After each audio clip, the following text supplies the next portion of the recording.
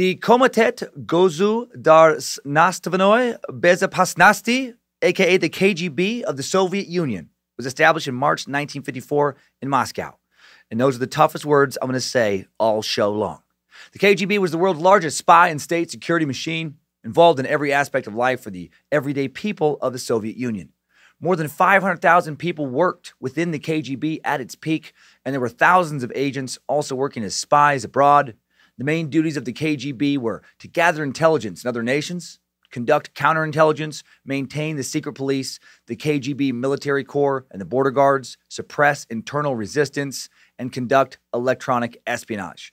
The KGB also enforced Soviet morals through torture, imprisonment, and executions, and promoted Soviet ideology through propaganda and total control over the Soviet media. The KGB fell apart in the late 80s, along with the rest of the Soviet Union, officially dissolving in 1991. But before it crumbled, it made life real, real, real rough for a lot of Russians and a lot of other people. And its foreign agents infiltrated the ranks of the world's other national intelligence agencies, including the CIA in the United States. The KGB also inherited the vast Soviet Gulag system of forced labor camps from its Soviet intelligence predecessors. And there were a lot of predecessors. The KGB is one in a long line of Russian secret police acronyms that, regardless of the actual words, always represented the same thing to the average Russian person fear and oppression. Russian secret police tortured and killed hundreds of thousands of people during the long reign of their various organizations, and we're going to look at a lot of those organizations today. Give a brief overview of other nations' secret police programs, talk about some cool spy shit, and so, so much more in a historical suck not for the squeamish. Looking into the means and methods secret police agents use to terrorize their targets. Turn this episode into what may be the darkest suck we've ever done. Uh, this is like Unit 731 dark if you have uh, thought some of the serial killers we covered here have been brutal, and they certainly have, the cumulative negative effect they've had on humanity pales in comparison to the horrific acts carried out by Russian secret police. So strap in for an intense and fascinating ride through the Soviet Union today on Time Suck. You're listening to Time Suck.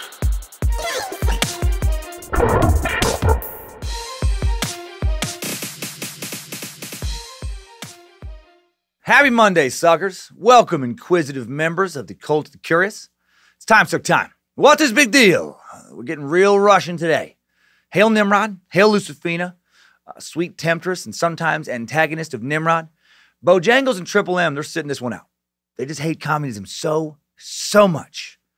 Uh, I'm Dan Cummins, he who sucks on high, and you are listening to Time Suck, recording in the Suck Dungeon on a lovely spring day here in Coeur d'Alene, Idaho, with Queen of the Suck, Lindsay. She's going to be in the Suck Dungeon. Reverend Dr. Joe motherfucking Paisley produces the show.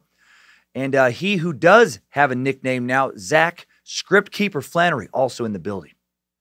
Uh, thanks again to everyone who left recent iTunes ratings and reviews, keeping the suck in the charts, letting us uh, continue to do this and grow this. Every rating and review helps so much. Uh, except, of course, maybe the one star reviews. They don't help as much, surprisingly. Uh, but better than nothing better than nothing, I guess. You know, at least getting somebody to, to have a reaction.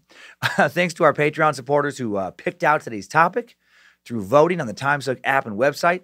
The Space Lizards always wise with their topic selections, those magnificent stewards of the suck. Got a new t shirt in the Shopify store you can easily link to from the TimeSuck app or the website or from this episode description. It's got to be my favorite uh, TimeSuck tee of 2019 so far. An Axis Design Ed Kemper tee and it's uh, it's darkly magnificent, creepy, fun, maybe even safe to work, depending on where you work. Uh, zero neck fucking is on this T-shirt. It's a Bella Tri-Blend unisex three-quarter sleeve baseball tee. It's made out of 300% severed cat heads that have been stuck on a stick for no less than 72 hours for added softness, and 50% mother's neck for just the right amount of breathability, and 250% really round up my samples for the motivation and ability to tackle whatever obstacles get in your spaces way. So enjoy that beauty. Uh, hail Nimrod. Uh, had fun in San Francisco, uh, trying to tighten up some new stand-up material for the Happy Murder Tour. Uh, man, this Saturday shows, my God, especially. But uh, uh, going to be shooting a new special soon, hopefully later this year. I think I'll find out this week if we get the date that we want and the city we want. Uh, so hoping I can announce that soon. My agent's are locking up the venue right now. hoping to make it my best album slash special yet Uh, thanks to everyone who came out, uh, by the way, in San Francisco again. Uh, those of you who, even those of you who came to the Thursday show, who seemed a little bit horrified by some of the things that were coming of my mouth. Uh, San Francisco, it, it can be a little sensitive. Saturday, though, Saturday shows, my God, some of the most fun I've ever had on stage. Uh, excited this week for shows at Laugh Boston in Boston, catching a Red Sox game in Fenway. Never been there. Uh, very excited for that. Uh, back in Spokane for another Ant Hill Kids Suck Sunday, May 19th. Then on to the Comedy Zone in Jacksonville, Florida, May 30th, 31st, and June 1st. And then I'll be in Omaha, June 7th and 8th. And uh, thanks for all the gifts, by the way, that people brought uh, to San Francisco. So many cool things. Uh, we talk about a lot of that stuff on the Secret Suck. Uh, ticket info for the entire uh, 2019 Happy Murder stand up tour at dancummins.tv. Also, the uh, the TEDx video uh, is, is that I did, the TEDx talk I did, is now online. I hope you like it. Talking about why I think a lot of American people have lost a lot of faith in various institutions that have historically been trusted a lot more than they are now, like doctors, educators, scientists, and more. Uh, why do more and more people no longer trust experts? Find out why I think uh, that reason is if you watch that video. Only regret I have about my TEDx talk is I was one word off of a Sir Arthur Conan Doyle quote. I, try, I memorized the whole thing. Wish wish I would use a teleprompter, but, but other than that one word, I, I got all, all all my other stats knocked them out of the park. Um, link in today's yeah description for that. Uh, speaking of misinformation, let's dig into the KGB and be glad we don't currently live under the thumb of covert terror and an insanely corrupt totalitarian regime. If you are, uh, you know, staunchly against an armed populace, this suck. I don't know. It might change your mind. Maybe when a government is free to do whatever it wants to its people, you know, whatever it sees fit, because those loyal to the regime can can own and carry firearms, but uh, those not cannot. Well, tyranny often ensues.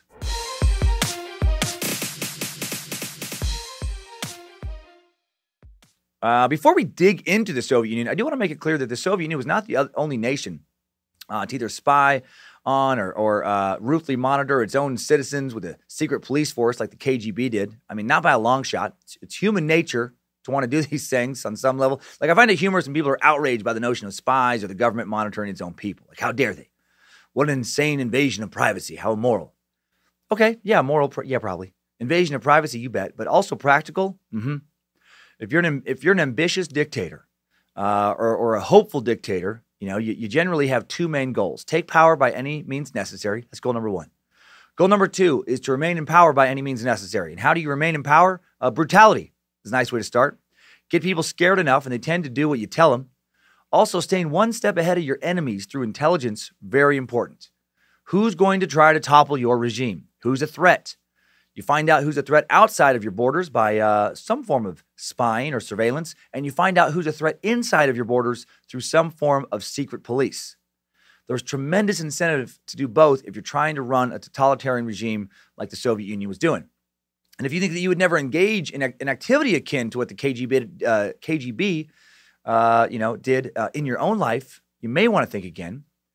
Um, let's use the example of opening a small business to kind of illustrate uh, you know the incentive to do these type of things. Let's say you you put all your life savings into opening a family family pizza place in some small town you live in.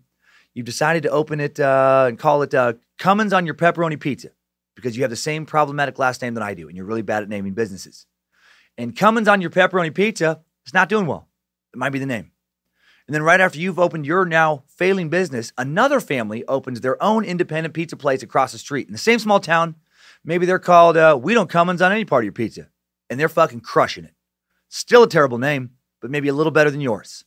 Line out the door for lunch every damn day as your business remains empty, feels like vultures are circling overhead, it's not looking good for you. Do you think that maybe you might want to send one of your employees over there to see what's working out so well for them? Maybe go on Yelp, see what people are saying, right? Do you think you'd gossip about it, ask questions around town? If you're a smart business owner, you'd do something. You'd engage in some form of intelligence gathering, get some kind of intel. You know, you'd in a sense engage in some form of spying, maybe, or something similar to spying. And when it comes to some form of secret police, corporations do that all the time right now, openly. Have you ever heard of a secret shopper? Companies hire people, independent evaluators, to pose as normal customers. And then those people, after shopping somewhere and taking notes, report back to, to HQ about how they were treated. Companies do this to find out how good their customer service is. You know, it's one thing. Uh, no one is sent to the gulag if a secret shopper gets some dirt on them, but in principle, it's the same thing as the KGB, right? Human resources, internal affairs. You know, there's all kinds of businesses or departments that possess KGB esque elements. We meat sacks have been spying on each other since the dawn of humanity. And there have been government run, organized KGB type organizations going back at least as far as the Romans. Uh, the Roman Empire began to utilize an organized secret police force specifically dedicated to make sure its citizens weren't doing something they considered traitorous or treasonous, at least as far back as the second century CE. Prior to this, empires, including Rome, had used uh, utilized informers and spies or scouts to gather some form of intel about rivals uh, outside of its their walls and sometimes inside. Uh, in the second century CE, though, Emperor Hadrian uh, gave uh, you know a, a, group of intelligence officers a name and uniforms, the uh, Frumentarii. The Frumentarii were tasked with protecting the Roman Empire from, from insidious forces within its borders. The Frumentarii operated out of their headquarters in Castra Peregrina, which translates to Camp of the Strangers, which sounds like a place straight out of Game of Thrones. Uh, right, uh, sounds like somebody competing for the Iron Throne.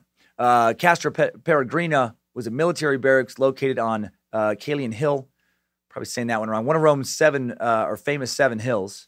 And this order started out as grain suppliers to the imperial army before eventually evolving into the empire's own secret police force.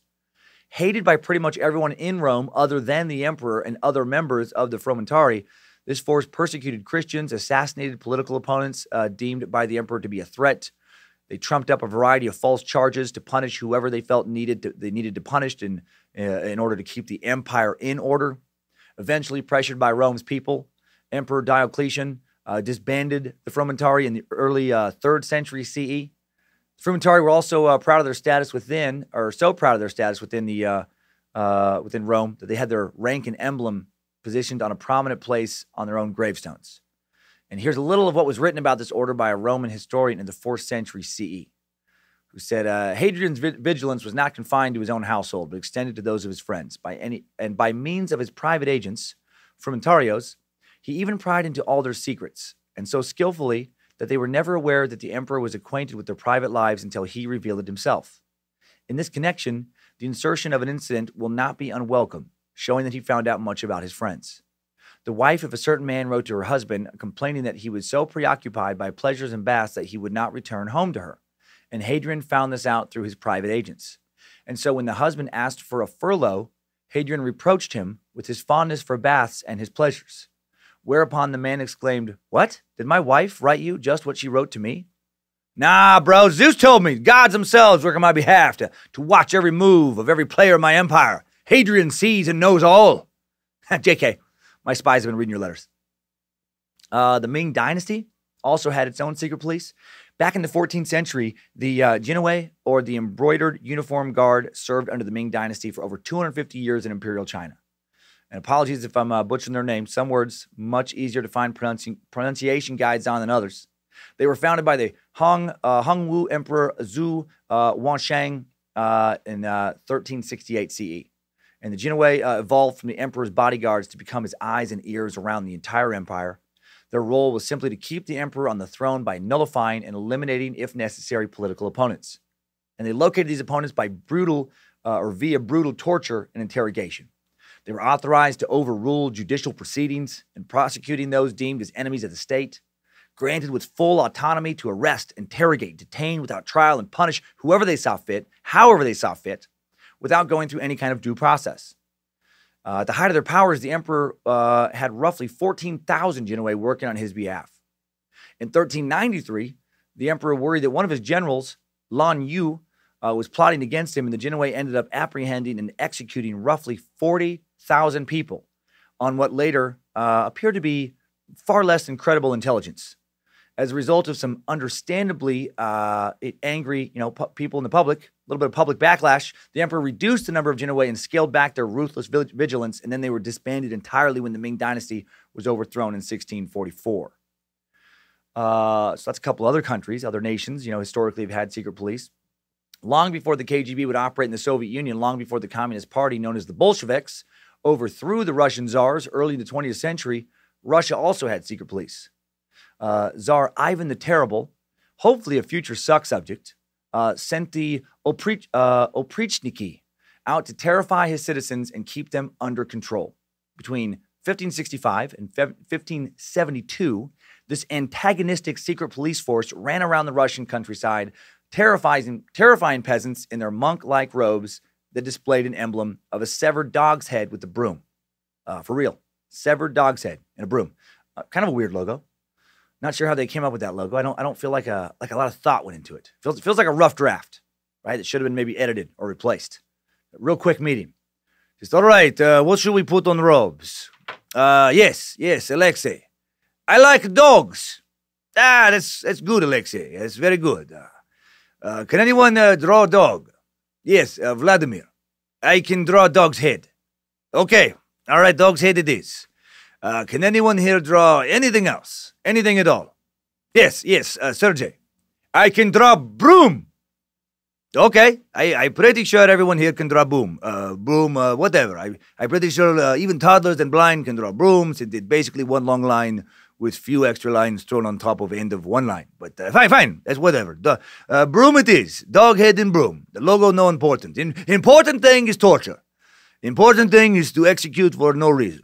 Now let us grab a bowl of cold beet soup and stale rock hard bread to celebrate.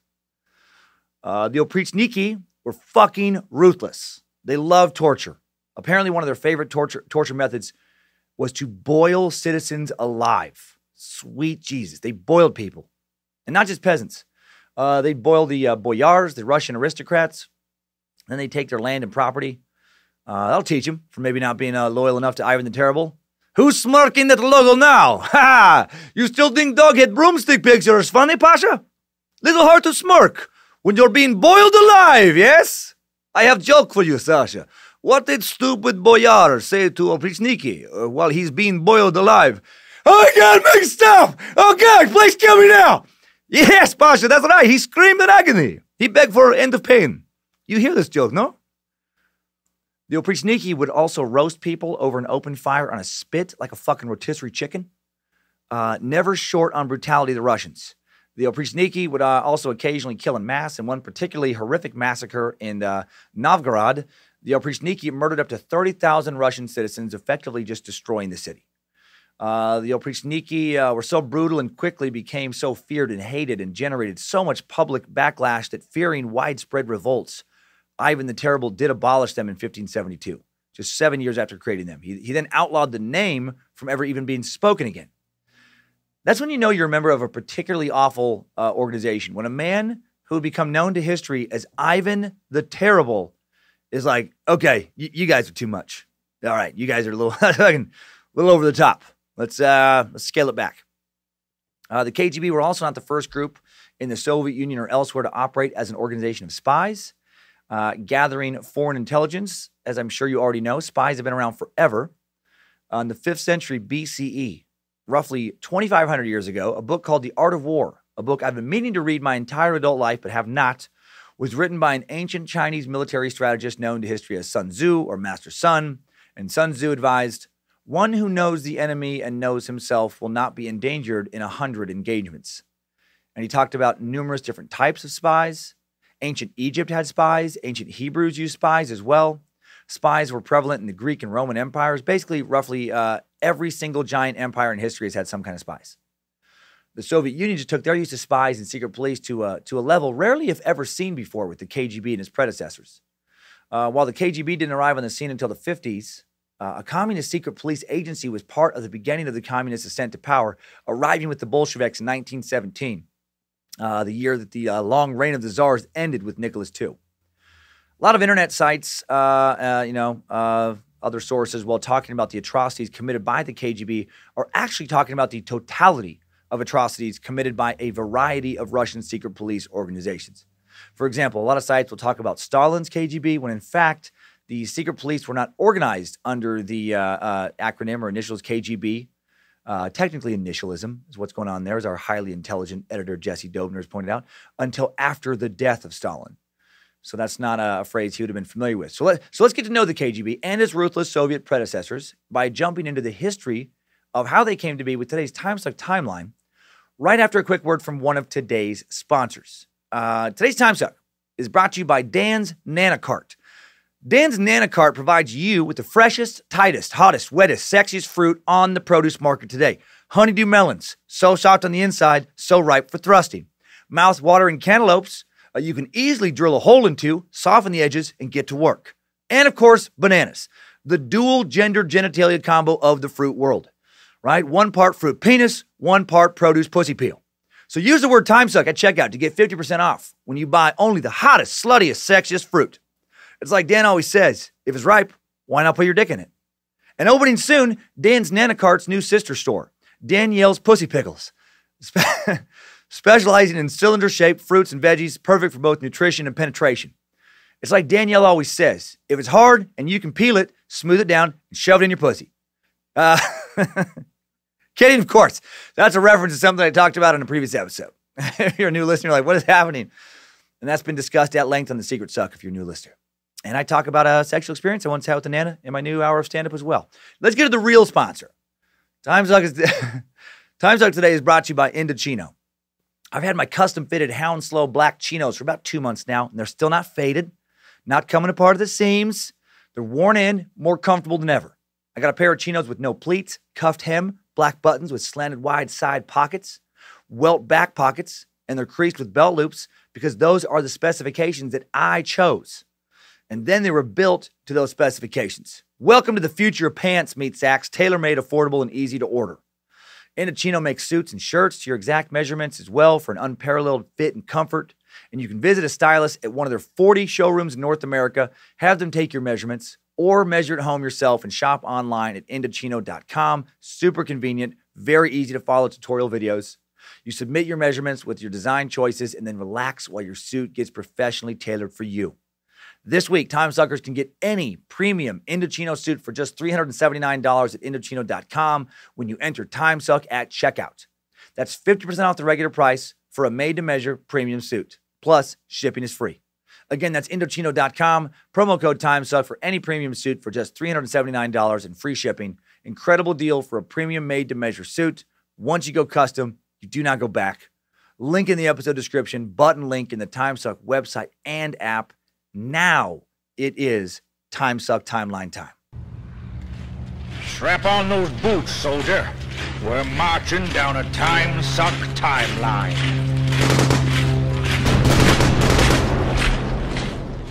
On August 1st, 1914, Russia enters World War I when Germany declares war against them.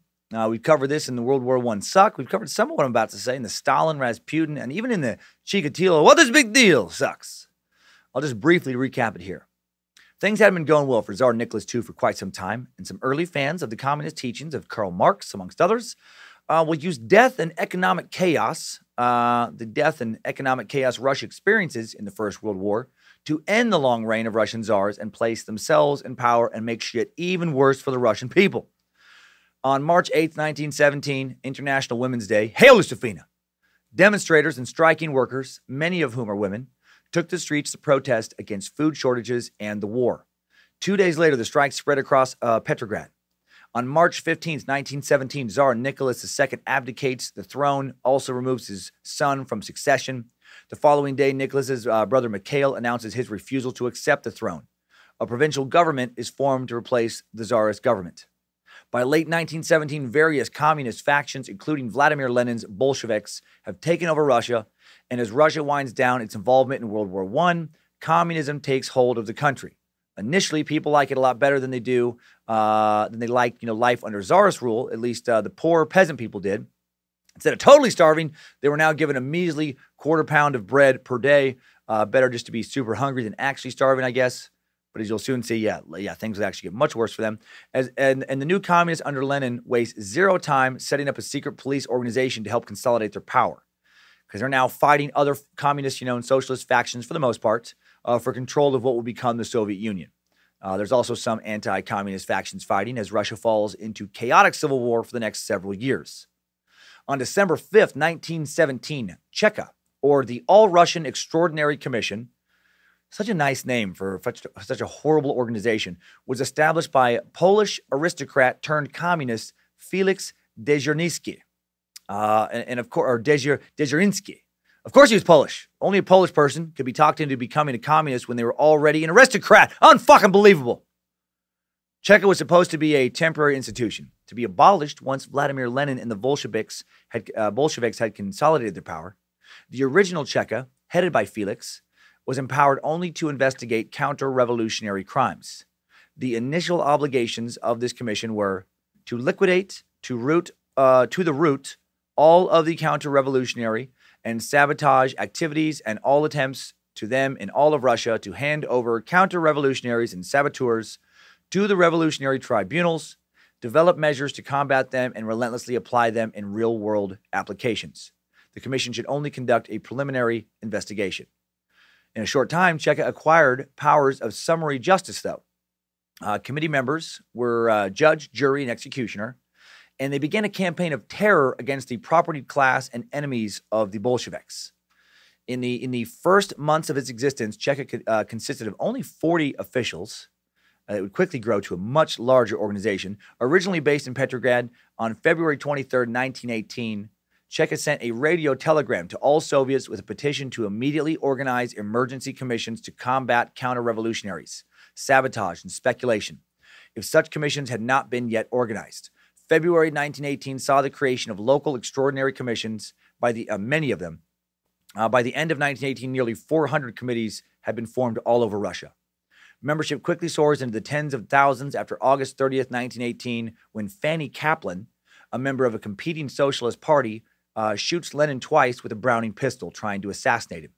Felix ushers in the foundation for the KGB's legendary brutality at this point a 15 ton iron monument of uh, uh, dubbed Iron Felix, would later be erected near the uh, Cheka's headquarters and the headquarters of the KGB. And Iron Felix was a ruthless motherfucker. Stalin, who had plenty of ruthlessness in him, loved Felix. He would later dub him a devout knight of the proletariat. He was so passionate about communism, he would get into heated arguments, this Felix would, with Lenin that would lead into actual fistfights. And the rumored atrocities committed by Cheka read like something out of one of the Saw movies. If you are eating or have a queasy stomach, uh, you may need to brace yourself for what's uh, going to be said next here. Depending on Cheka committees in various cities, methods uh, of torture, interrogation, and murder included being skinned alive, scalped, crowned with barbed wire, impaled, crucified, hanged, stoned to death, tied to planks and pushed slowly into furnaces or tanks of boiling water, or rolled around naked in internally nail studded barrels. My God, man, forcing a Christ like barbed wire crown of thorns on people. Can you imagine the pain? Literally skinning people alive. That's some Vlad the Impaler level shit. Putting somebody in a barrel with fucking nails in it, just rolling them around. Uh, Chekis, uh, the term for members of this organization, reportedly also poured water on naked prisoners in the winter bound streets of Russia until they became living ice statues. Not making this shit up. Uh, these are human beings that they're doing this to, right? Just meat sacks who haven't done anything other than, uh, in many cases, being on the wrong end of a false accusation or having had the good fortune to own land or just not being a huge fan of communism uh, or they were religious, etc. Others reportedly beheaded their victims by twisting their necks until their heads could be torn off. Uh, yep. Uh, and I thought serial killer Ed Kemper was bad. Ed Kemper would have made a great Chekist, right? Are you a Bolshevik's mother? Because if you are not, if you are some kind of fancy pants landowner, your head is going to end up on a stick real fucking quick. I'm going to boil it, skin it, twist it off, and put it on a stick. And then I'm going to fuck your factory on the neck. Uh, Cheka is also the agency that oversaw the first gulags that Lenin created in August of 1918. Uh, originally, they weren't called gulags. Gulag is an acronym that roughly translates in English into Main Administration of Corrective Labor Camps. Uh, the first camps were World War I prisoner of war camps, and then Cheka took over and had them converted into concentration camps, uh, labor camps for political dissidents or anyone else Cheka felt like uh, arresting. They would quickly become an immense source of cheap, disposable labor for the Soviets. Between 1918 and 1921, Cheka, under Lenin's guidance, carries out what will become known as the Red Terror. Victim estimates vary all the way from 10,000 to 1.3 million people. Hard to get an exact number because the Bolsheviks weren't exactly advertising to the rest of the world uh, what giant pieces of shit they were. The Red Terror uh, was originally justified and rationalized as a wartime campaign against counter revolutionaries while the Bolsheviks solidified power. Uh, Leon Trotsky, a Bolshevik who played a major role in the Russian Civil War that began in 1917 and lasted until 1922, a, a man, a Russian secret uh, secret agent assassin, would kill in 1940 on behalf of Stalin with an ice axe while he lived in exile in Mexico and criticized Stalin, had this to say about the Red Terror in 1920. The severity of the proletarian dictatorship in Russia, let us point out here, was conditioned by no less difficult circumstances than the French Revolution. There was one continuous front on the north and south, in the east and west. Besides the Russian White Guard armies of Kolchak, Denikin, and others, there are those attacking Soviet Russia simultaneously or in turn Germans, Austrians, Czechoslovaks, Serbs, Poles, Ukrainians, uh, Romanians, French, British, Americans, Japanese, Finns, Estonians, Lithuanians. In a country throttled by a blockade and strangled by hunger, there are conspiracies, risings, terrorist acts, and destructions of roads and bridges. Yeah, following World War I and the toppling of the Russian monarchy, the Soviet Union fell into chaos. And Cheka was created in part to beat that chaos into conformity by any means necessary. They were fighting a war on a lot of fronts. And uh, those, um, uh, what do they call the the whites? What was it I just said in there? The the Russian White Guard armies. Those, by the way, were the anti-communist forces fighting within Russia.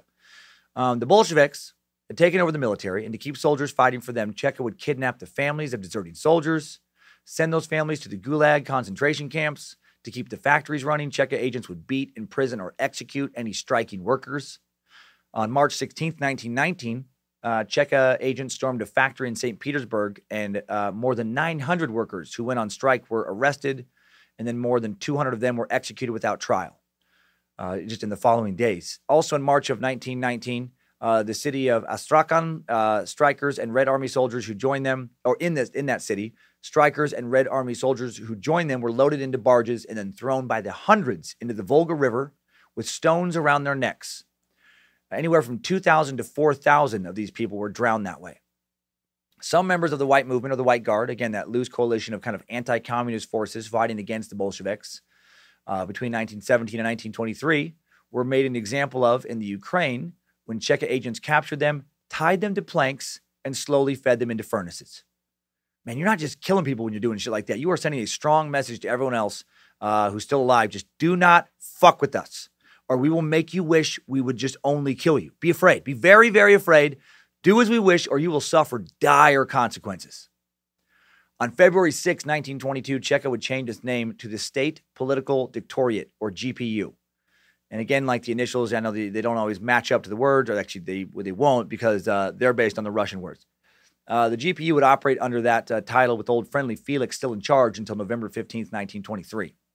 Also in 1922, the Soviet Union formally forms when the Union Treaty formally joins, uh, joins Russia, Ukraine, Belarus, and the Transcaucasus, uh, uh, which were divided in 1936 into Georgia, Armenia, and uh, Azerbaijan, into the Soviet Union.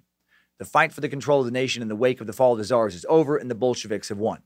And then they just changed their name to basically the, the Communist Party of Russia uh, or the Soviet Union. On November 15th, 1923, the state political dictatorate morphs into the OPGU, the Joint State Political Dictatorate, uh, or yeah, dire- Directorate. Sorry, they're uh, also translated as the All Union State Political Administration and the Unified State Political uh, Directorate.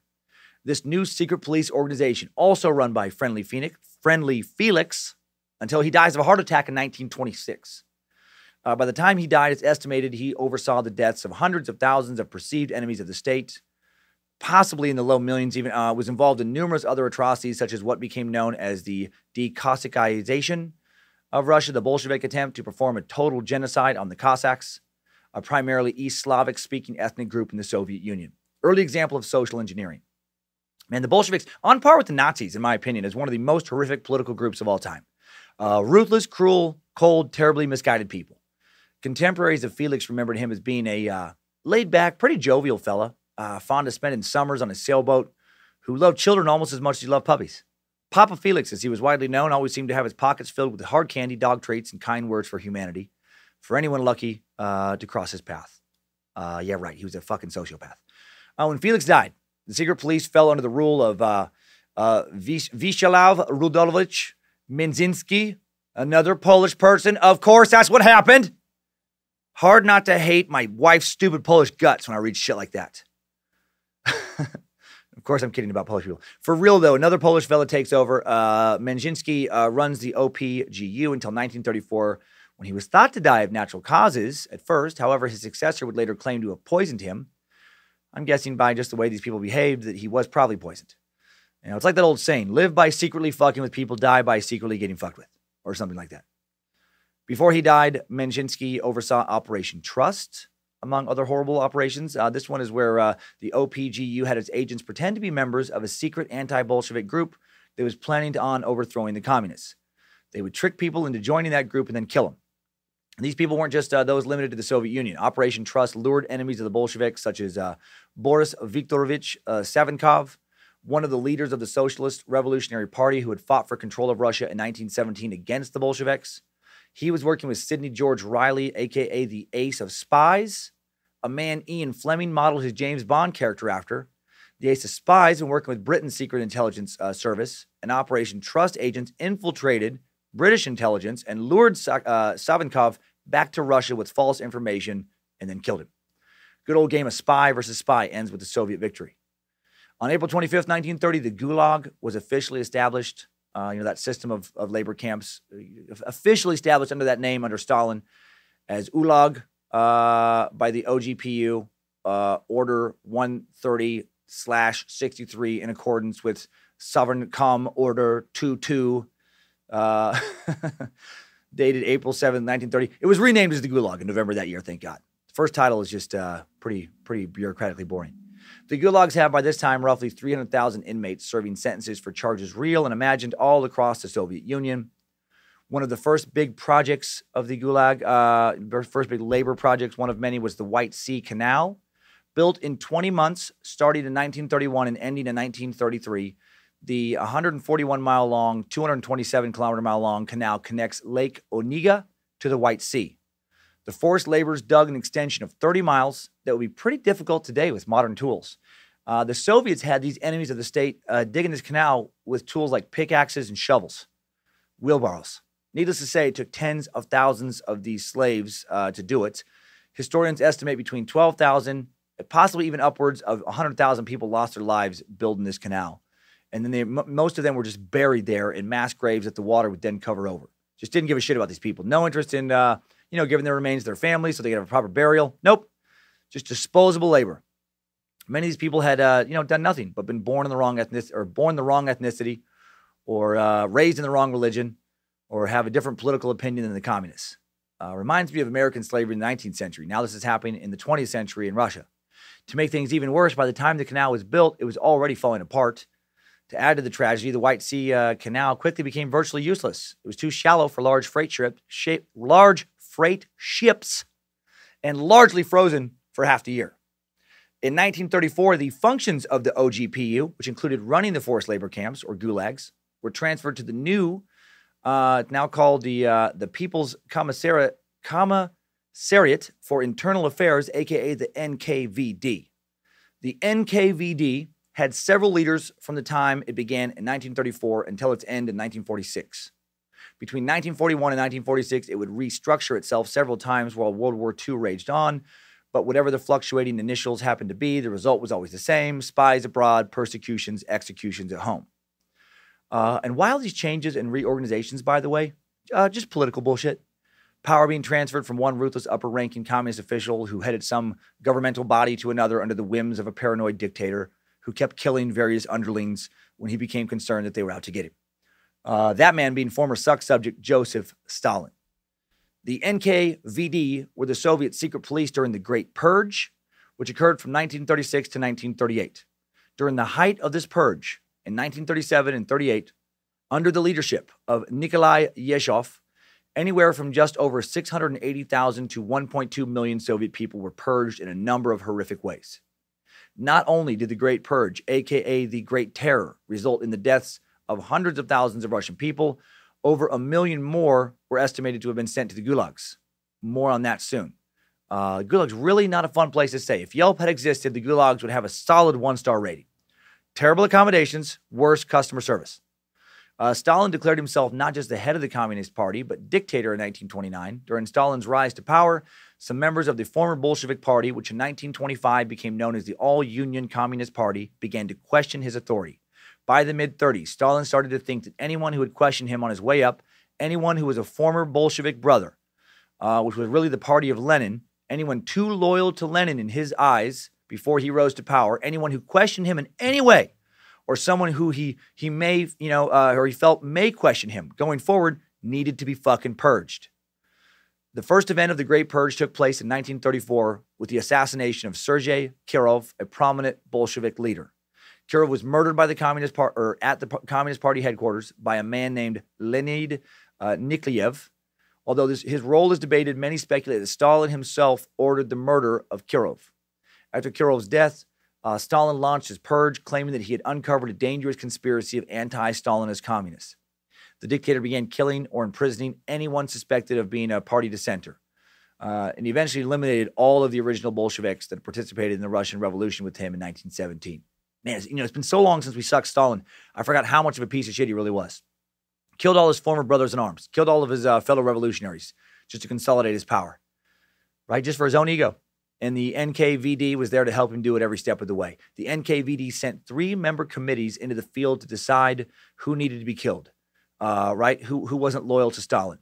The accused were tried, found guilty on site, and executed, sometimes in a matter of minutes. Evidential standards were very low. A tip off by an anonymous informer was considered sufficient grounds for arrest, trial, and execution. Uh, use of physical means of persuasion, you know, torture was sanctioned by a special decree of the state, which opened the door to numerous abuses documented in recollections of victims and members of the NKVD itself. Kirov's death led to three widely publicized trials that successfully wiped out most of Stalin's political rivals and critics. Several former high ranking communists, including Lev Kamenev, uh, Gregory uh, Zinoviev, Nikolai Burkanin, uh, Alexei Rykov, to name a few, were accused of treason. The trials, which became known as the Moscow trials, were clearly staged events. And I probably butchered a lot of their names there. Uh, the accused admitted to being traitors and spies. Later, historians learned that the defendants agreed to those uh, these forced confessions only after being interrogated, threatened, and tortured. The NKVD also carried out some ethnic purges. For example, the Polish operation of the NKVD in 37 and 38 was carried out to get rid of Polish spies, in theory, but in, uh, in reality, it was carried out to get rid of pretty much all Polish people. It resulted in the execution of 111,091 Poles. And uh, and I and I will say when I read that, it did make me think that maybe Stalin wasn't quite as bad as I first thought. Uh, that's the first cleansing I can really get behind. If, if they just would have cleansed a little harder, I could be married to a real human being right now. And again, obviously kidding. Uh, the Polish operation of the Great Purge is the largest mass murder of Polish people in history outside of actions that have occurred during uh, war, by the way. Uh, okay, Russian secret police also love surveillance. In 1945, a group of Soviet children presented the U.S. ambassador to the USSR a gift, a carved wooden plaque of the Great Seal of the United States, as a show of friendship between the two countries. What they didn't tell the ambassador was that the plaque contained a secret microphone. This little hidden mic was one of the very first audio surveillance devices ever created to use passive technology to transmit audio signals, making it virtually undetectable at the time, allowing it to be used for an extended period of time. This bug plaque allowed the KGB to listen in on conversations in the American ambassador's office for nearly seven years. Wouldn't be found until it was accidentally detected in 1952 by a British radio operator. The operator was confused when he heard conversations between Americans coming from a radio channel near the embassy. The radio channel was one being used by the KGB to listen in on private conversations. In 1946, the NKVD becomes the MGB, the Ministry of State Security. Also, uh, on top of all this, while all this is going on, the Soviet Union also uh, loses as many as 26 million people in World War II. Russia was a fucking terrible place to live for so many people in most of the 20th century. Two world wars, over 9 million Russians died in World War I, a number of other smaller wars, military conflicts, various purges. And then you have the uh, secret police torturing and killing people left and right, whether war is going on or not. So much death. Uh, the MGB would exist as that uh, under those initials until 1954. In 1953, for roughly a year, some secret police duties would be conducted by the MVD, the Ministry of Internal Affairs, more shuffling. Uh, for the most part, the MGB would be the per- precursor to the KGB. After World War II, the MGB was used to bring the newly acquired Eastern Bloc nations under the thumb of Soviet control. Uh, the Nazis and Russians had wreaked havoc on Eastern Europe in the latter years of World War II uh, as they fought uh, from Germany all the way up until about 30 miles from Moscow. And Russia had engaged in a scorched earth policy as they retreated back to Moscow to keep military assets from falling into Hitler's hands. See, even more fun for people in Eastern Europe. Uh, as they scorched the earth and kind of set back, you know, like they obviously destroyed a lot of these kind of Eastern Bloc nations. And then the Soviets set up puppet governments loyal to Russia in uh, these nations like East Germany, Poland, Hungary, Bulgaria, Czechoslovakia, uh, Romania, Albania, Yugoslavia, uh, Canada. No, kidding about that. I mean, I should have slept in there to be like, does he not know geography? It's not even fucking close to Eastern Europe. Uh, and the MGB helped keep these nations in line. Yugoslavia, while it would remain communist for quite some time, would refuse uh, to live under Stalin's control in 1948. But the other nations remained under Stalin and MGB control for decades. When local leaders criticized Mother Russia, they often paid for that criticism with their lives. Uh, here's an example. On June 6, 1947, Bulgarian parliamentary leader Nikola Petkov, a critic of Soviet rule, was arrested in the parliament building, subjected to a kangaroo court show trial, found guilty of espionage, uh, of, of, espionage, some trumped up charges, sentenced to death and hanged on September 23rd, 1947. You stand up, you end up dead. 1953, Joseph Stalin dies, and everything immediately gets better in the Soviet Union. Uh, Dmitry Smirnov, better known as Dieter the Leader, takes over the Soviet Union and transforms the gulags into a chain of water parks and laser tag centers. He makes roller skating the official sport of the Soviet Union. Uh, he immediately has Elvis come to a national tour. He gets rid of state controlled media and late night talk shows, and sitcoms immediately flourish. Uh, he focuses less on war and more on dog parks, uh, dog parks and malt shops. It is the fucking best. Uh, no, uh, it's not the best. Things do get a little better though. Less mass killings of Russian citizens and widespread torture, but the secret police remain. So do the gulags. Uh, Georgy uh, Malenkov briefly kind of takes over as the kind of premier of the Soviet Union, but with less dictator like power.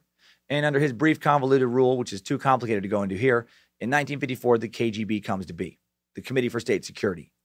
Uh, Malenkov, who would be succeeded by Nikita Khrushchev, who would rule under the new title of First Secretary of the Communist Party of the Soviet Union until 1964. Uh, Khrushchev denounces Stalin's purges and ruthless policies. However, uh, was the KGB under Khrushchev really any less ruthless than its secret police predecessors? Hungary soon, find, soon finds out not really. The KGB still pretty ruthless. In October 1956, thousands of protesters took to the streets in Hungary demanding a more democratic political system and freedom from Soviet oppression. In response, Communist Party officials are like, fuck yeah, no problem. Uh, don't even worry about it, bros. All you guys had to do was ask. We're not that bad. Best of luck. Uh, we'll be rooting for you. Uh, of course, that did not happen. Communist Party officials appointed Imre uh, Nagy a former premier who had been di- dismissed from the party for his criticisms of Stalinist policies, and as the new premier. Uh, Nagy tries to restore peace and asks the Soviets to withdraw their troops.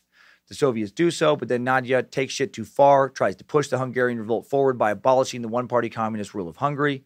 He also announces that Hungary is withdrawing from the Warsaw Pact, which was the Soviet bloc's equivalent of NATO. The Soviets are not big fans. On November 4th, 1956, Soviet tanks roll into Budapest to crush once and for all the national uprising. At 5:20 a.m., Nagy announces the invasion to the nation in a grim 35-second radio broadcast declaring, "Our troops are fighting. The government is in place." Nagy was soon captured and then executed 2 years later for not doing what he was fucking told. And then the Soviets put a puppet dictator into power, uh, János uh, Kadar, a man flown in from Moscow, who the KGB keeps close tabs on. Uh, Soviet leader Nikita Khrushchev had pledged to retreat from the Stalinist policies and repression of the past, but the violent actions in Budapest suggested otherwise. An estimated 2,500 Hungarians died, 200,000 more fled as refugees. Sporadic armed resistance strikes and mass arrests follow for months, causing substantial economic disruption. And the KGB is there for all of it, making sure anyone who continues to privately resist Soviet rule is quickly and quietly dealt with, aka executed. Right? Fall in line or it's death or the gulags, which is then just death. Uh, you have only a symbolic government, Hungarian homeboys. Do as you're told, when you're told, or the tanks come back. The KGB, just like its American counterpart, the CIA, also heavily in, interfered in various foreign wars. uh, assisting revolutionaries when their victory would be uh, would put a pro-Soviet regime into power. Right, the KGB was heavily involved in the good old Cold War. We've talked about it in a number of sucks now. You know, the CIA they're empowering pro-American revolutionaries, and the KGB is empowering pro-Soviet revolutionaries as both the U.S. and USSR set up puppet governments around the world, both afraid that the other will become too powerful and bring their opposing ideology to their doorstep. Around 1964, when Yasser Arafat rose to power uh, as the head of the Palestine Liberation Organization, the PLO, he establishes an alliance with the KGB. The KGB then began to provide secret training to the PLO's militants who were taking up arms to violently achieve Palestinian statehood. Meanwhile, the U.S. is back on the Israeli side of this conflict via the CIA. In addition to training, the KGB began to ship arms to the PLO guerrillas in spite of an embargo placed upon the Palestinian territories. Uh, the PLO also got way into airplane hijackings back in the 1960s, thanks to the KGB. Uh, remember how we learned the DB Cooper suck? How incredibly common that was. People used to hijack planes all the fucking time in the 60s. In 1969 alone, the PLO performed 82 airline airline hijackings around the world, and apparently KGB agents showed them how to do it. The head of foreign intelligence for the KGB at that time, Alexander Sakharovsky, would claim that airplane hijacking is my own invention. I don't, I don't, I don't know if he invented it, but he uh, he certainly was into it. The KGB also financed another Palestinian militant group, uh, the Popular Front for the Liberation of Palestine, uh, supplying them with rocket launchers and machine guns. A leader of the PLPF, Wadi Haddad, was later revealed to be a KGB agent. While Haddad was in charge of the PLPF, he carried out multiple hijackings of civilian airplanes. One of those hijackings, the Dawson's Field hijackings of 1970, provoked what's known as Black September in Jordan, a bloody civil war that lasted from September 1970 until July of 71. Uh, the KGB also interacted with another former suck subject, the IRA, the Irish Republican Army. They reportedly gave 100 machine guns, automatic rifles, pistols, and ammunition to the official Irish Republican Army in 1972. The Irish paramilitary group then ushered in some of the most ruthless acts of terrorism in the, uh, terrorism in the Northern Irish conflict, known as the Troubles. We talked about that in the IRA suck. One reason that the KGB and USSR took such interest in the IRA was because they had taken on Marxist leanings in the early 70s and had begun to at least entertain the idea of turning, turning Ireland into a communist state. While the CIA was fucking around in Central and South America and Asia and the Middle East, so was the KGB. The Cold War really was a war, a war of contrasting ideologies that got a lot of people killed. Uh, the KGB uh, uh, turned uh, numerous Americans into spies to help their side of the espionage war. Uh, we'll never know how many because I'm guessing, you know, a lot were never caught. For all we know, Russian intelligence officers could still be working inside the U.S. today. Actually, uh, that is happening. We'll talk about that more later. One of the most infamous American KGB operatives was John Walker. Uh, John Walker, this piece of shit, was a U.S. Navy specialist nicknamed Smiling John. He was born July 28, 1937, in Washington, D.C., and passed away August 28, 2014, in prison in Vernon, North Carolina. From 1967 to 1985, Walker shared classified military documents with the KGB as a paid informant, documents that surely got a lot of people killed. Uh, for almost two full decades, this dude got away with treason and made a lot of money doing so. The documents he shared included Navy codebooks, reports on submarine and surface ship movements. Walker began his clandestine or clandestine crime spree alone, obtaining documents himself while on active duty, and then he started to drag some friends and family into his dirty dealings, which is the only reason he was eventually caught. Uh, Walker's spy ring included a close friend, plus his brother, and even his own son. He maintained the ring even after his retirement from the military. Uh, Walker's spy ring was once described by American officials as among the gravest security breaches in the history of the U.S. Navy. Uh, growing up, John's early years were marred by his father's alcoholism. His father would lose his job and declare bankruptcy. Perhaps inspired by his father's shortcomings, John would work hard to make his own money from an early age. Quite the little entrepreneur, he had a paper route, sold household items door to door, and would work as a movie theater usher. At age 16, he had saved up enough money to buy a car. Walker ended up turning his little uh, turning to a little crime to make some extra dough, and it led to him dropping out of his Scranton, Pennsylvania high school uh, during his junior year after he gets caught and charged with attempted burglary. His only options were to either join the military or go to jail. So he joins the Navy, and from 1955 to 1976, uh, he served as a radio man on a series of both surface ships and nuclear submarines. By most accounts, John had an exemplary military career. He would raise from a uh, petty officer to a senior warrant officer and would work with encryption codes and devices and was able to collect detailed information about the movements of the Soviets and U.S. fleets. While on shore leave in 1957, he met his soon to be wife, Barbara Crowley. She would eventually be the one to bring him down. Walker would make it through submarine school, and later he would receive his top secret cryptographic clearance and pass the Personnel Reliability Program, a psychological evaluation to ensure that only the most reliable personnel have access to nuclear weapons. Uh, Walker generally impressed his superiors. His efficiency reports were uniformly excellent, and he was assigned to the blue crew of the Polaris ballistic missile submarine Andrew Jackson, and later the gold crew of the Simon uh, Bolivar. Uh, Walker had served with some distinction on board half a dozen vessels and was in charge of the radio shop of a nuclear missile submarine. He was on the path to a nice little military uh, retirement pension, uh, but just like when he was younger and tried getting into burglary to make some extra money, he turned to crime again to make some extra dough. In 1967, Walker walked right into the Soviet embassy in Washington, D.C., and offered to sell them information he had been gathering. Fucking crazy, right? They didn't recruit him. It was his plan. He came up with this all on his own. His arrival came as quite a surprise for the Soviets as the building was under constant FBI surveillance. The first man to meet Walker in the embassy was an internal security specialist named Yakov Lukasevich, or Lukasevich. Yakov had no idea what to do with Walker and would contact a local KGB station chief, Boris Solomatin, uh, or Solomatin. The Soviets were always weary of what they called walk ins, afraid that they were just going to be double agents pretending to work for the KGB when really they were a CIA agent. You know, that kind of stuff did happen all the time. However, they were, they were impressed with the documents that Walker brought them and they took a chance. Boris and John talked privately for two hours. According to sources, Walker impressed the station chief by saying nothing about his love for communism uh, which most of the phony defectors apparently emphasized. Walker made it clear he didn't give a fuck about communism. He just wanted money. He was willing to sell out his country for cash. Boris gave him a few thousand dollars on the spot, and then he was smuggled out of the embassy in a car. Boris would later be awarded the Order of the Red Banner, some prestigious Soviet war award for recruiting Walker. He even received a promotion to Deputy Chief of Intelligence. All this because Walker ambled his way into the embassy like a dumbass. Walker's hopes were, re- were to reportedly repair his personal financial problems, which he hoped would also mend his troubled marriage. The Soviets agreed to work with John and would deliver several substantial payments in return for photographs and photocopied cryptographic keys, technical manuals, and other material.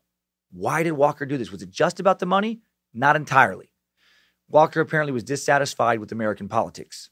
He believed that the assassination of JFK had been committed by our own government, an idea I, I myself have gotten some shit for since I also believe that JFK's killing was at very at the very least condoned by the CIA, if not planned and carried out by them. Uh, I know, I know. Walker would later write in his memoir that his mind had changed from being an ultra conservative John Bircher supporter in the 1950s to a Cold War denier. He believed the U.S. government's hype around the danger of the USSR was just propaganda. The farce of the Cold War and the absurd war machine it spawned, he commented, were an ever growing pathetic joke to me. Someone should have told John Walker about the gulags we're gonna we're gonna dive deep on the Gulag atrocities here again soon, and uh, that shit was no joke. That was no propaganda. The Soviets wanted to spread communism as far as wide as they could, and with it, pain, misery, and death would have surely followed. In 1976, Walker would retire from the Navy, begin his own private detective business, where he would continue to obtain sensitive documents from a fellow radioman, uh, Jerry Whitworth. Other contributors to treason were Walker's brother Arthur, who himself was a retired lieutenant commander who worked for a defense contractor, and also John's son Michael, who was a petty officer assigned to a nuclear aircraft carrier. Walker would sometimes meet with Soviet contacts in locations outside of the U.S. in places like Casablanca, Morocco, and Vienna. After almost two decades of treasonous fuckery, John Walker was arrested in May of 1985 after his ex-wife Barbara and one of his daughters turned him in to the FBI. Yeah, yeah. When your when your wife knows that you are a communist spy, probably got to stay married, or uh, or have him killed if you don't want to get caught. He was charged with passing Navy secrets to the Soviets. His entire spy ring was rounded up and charged. John agreed to plead guilty and provide a detailed account of the material he passed to the Soviets in exchange for a reduced sentence for his son Michael. Michael was released from prison in 2000. John received a life sentence and died in prison. His brother Arthur was also given a life sentence and a $250,000 fine. Naval radioman Whitworth did not plead guilty, pleading ignorance. U.S. authorities didn't believe him and sentenced him to 365 years in prison and fined him $410,000. So he also, you know, he lived out the rest, was going to live out the rest of his days in prison. After nearly two decades, the FBI was finally able to end the biggest espionage leak in U.S. history. And I got to say, stories like that one do make me feel a little more sympathetic to 1950s McCarthyism, which we talked about in the Marilyn Monroe suck and other episodes, right? No wonder there was a Red Scare going on in America after World War II and politicians were obsessed with communists possibly being amongst us. There really were communists amongst us. And while I do believe in the freedom to have whatever political notions you want to in this country, I also really, really have no interest in ever living in a communist society. Right? If that ever happens in this country, I am going to bounce the fuck out the first opportunity. Uh, KGB was doing all sorts of spy shit. They had secret agents hidden all over the world. They had hidden gadgets set up all over the place. Uh, during the, and most uh, spy gadgets, by the way, just were some type of camera uh, or or listening device. During the Cold War, the KGB became very good at bugging buildings and listening in on conversations. They once bugged an entire floor of a hotel with audio surveillance microphones for 20 years. In the early 1970s, tourism began to flourish in the Soviet satellite country of Estonia. The USSR saw this as an opportunity to bring money into the struggling economy of Estonia, and the KGB saw it as an opportunity to spy on capitalist foreigners. In 1972, the KGB took over the entire top floor of Hotel Viru in Estonia and wired most of the hotel with sophisticated audio surveillance devices. The hotel was in an area that was frequently traveled by international businessmen. 60 rooms in the hotel were permanently wired with secret microphones. Other rooms could be bugged at a moment's notice. On the outside, Hotel Viru appeared to have 22 floors. In truth, it had a secret 23rd floor, which housed KGB agents and the technology that they used to spy on all the guests at the hotel. The KGB worked out of that hidden top floor for two decades until the collapse of the Soviet Union put an end to the surveillance operation in 1991. Imagine all the shit those KGB agents had to have heard. So much hotel sex, so much jerking off, so much. How would you like to be the guy listening in on those conversations, or you know, or those just moments? Some lonely businessman just you know fapping away before he falls asleep. There had to have been regular guests that they had inside jokes about. Oh, it looked like Lotion Larry uh, check in again for a week. Why you call him Lotion Larry? Dimitri, new guy want to know why he called Lotion Larry. Uh, Larry put more lotion on cock in one night, and then wife put on whole body in one year. Uh, man must have smoothest cock with healthiest skin in all of Estonia. Uh, okay, let's take a break from spy stuff to talk about inhumane torture and widespread fear and death. In 1973, a now infamous book called The Gulag Archipelago was published. The Gulag Archipelago is a three volume non fictional nightmare text written between 1958 and 1968 by Russian writer and historian Alexander uh, Solzhenitsyn. It was first published in 1973, uh, followed by an English translation the following year. Covers life in the Gulag through a narrative constructed from various sources, including reports, interviews, statements, diaries, legal documents, and uh, Sol- uh, Solzhenitsyn's own experience as a Gulag prisoner. Is it true? Probably. Natalia Resnosovas, uh, fucking whatever. Natalia's bullshit name, uh, his first wife, would later denounce it, writing in her memoirs that the Gulag Archipelago was based on, uh, by the way, that name. Some of you guys like, why can't you say the names right? Do you fucking ever see this shit? Anyone who's like, oh, that's so easy to say all these names, say a bunch of them quickly, uh, you know, out loud. Not, not just in your head. Don't just read them. Say out loud to a friend uh, a series of Russian names if you're not Russian or speak Russian. And see how good you do. These names are unbelievable. R E S H E T O V S K A Y A. Reshotovsky K I I. Fucking nonsense. Uh, that's why people Americanize names when they came over to the uh, on the boats too. Because some people get so pissed about that. Oh, it's so fucked up that they would Americanize people's names. It wasn't out of ego. It was because none of us over here could fucking say any of this shit. Right? Do you want to have uh, the rest of your life be reservations of uh, uh, we're gonna have a, a party of three for uh, God, God damn it, party of three for. Or do you want to be like party of three for Dieter or Anderson, right? Fucking make it easy. Um, his first wife, though, this guy's first wife would denounce his uh, Gulag archipelago. He would say that was, she would say that it was just based on campfire folklore, wasn't objective facts. Uh, she said she was perplexed that the Western media had accepted this book as a solemn ultimate truth, saying its significance had been overestimated and wrongly appraised. Why did she say that, though? Well, British intelligence uh, agents would later claim that her memoirs were all part of a KGB propaganda campaign, that she didn't just write this, you know, on her own. It was orchestrated by Soviet leader uh, Yuri uh, and Andropov in 1974 to discredit uh, Sol fucking whatever Solzhenitsyn uh, and uh, make people think that the gulags weren't that bad after all. You know, just just please do not take silly book for serious. Uh, Alexander joke. Gulags more like summer camps than really anything else. Arts, crafts, uh, sporting games, rowboats, camp song. It's too much fun. Gulag's so much fun. The, the real crime should be being able to spend summer camp in Gulag. Crime should be having time of life in Gulag, holding hands with beautiful young Russians, singing songs, uh, popular Gul- Gulag songs like "This is your Gulag, it is much fun place from water polo to hula hooping. This is fun Gulag, we go skin dipping. No one say mean words, everyone eat shrimp, fish." Right? It it that kind of kind of vibe. No, it wasn't. It was fucking terrible. Let's look at some of what uh, uh, the Gulag Archipelago described in 1973. Uh, Alexander said that prisoners were literally worked to death all of the time. Um, many were white collar professionals who suddenly found themselves doing hard labor for the first time in their lives. You know how much? Is, how much? Is, how terrible is that? One day you're a doctor who just didn't love communism quite as, as much as you should, or maybe had the wrong ethnicity. And then the next day you're digging a canal for 16 hours a day with a fucking shovel and not given enough food to make it to the rest of the year. Uh, many, if not most, of the Gulag prisoners were not guilty of any actual crimes. During the reign of Stalin, Gulag camps would increase in population considerably. The grueling labor prisoners endured was often based on their locations. Like if the Gulag was in a forested area, they'd have to cut a bunch of trees down. If it was near a mine, former teachers and writers and artists would become miners. Uh, if it was near a beach, like or near like a resort, that would be that would be okay. Prisoners would end up being forced to become like lifeguards, poolside bartenders, uh, masseuses. Uh, yeah, right. I don't think the Soviets had beach resorts, right? Beaches are for mass graves, like all Russian land. Uh, there was no safety standards for these workers, no human resources departments to complain to. They weren't given proper clothing or equipment. In many cases, they were forced to do manual labor in rags in the midst of freezing winters.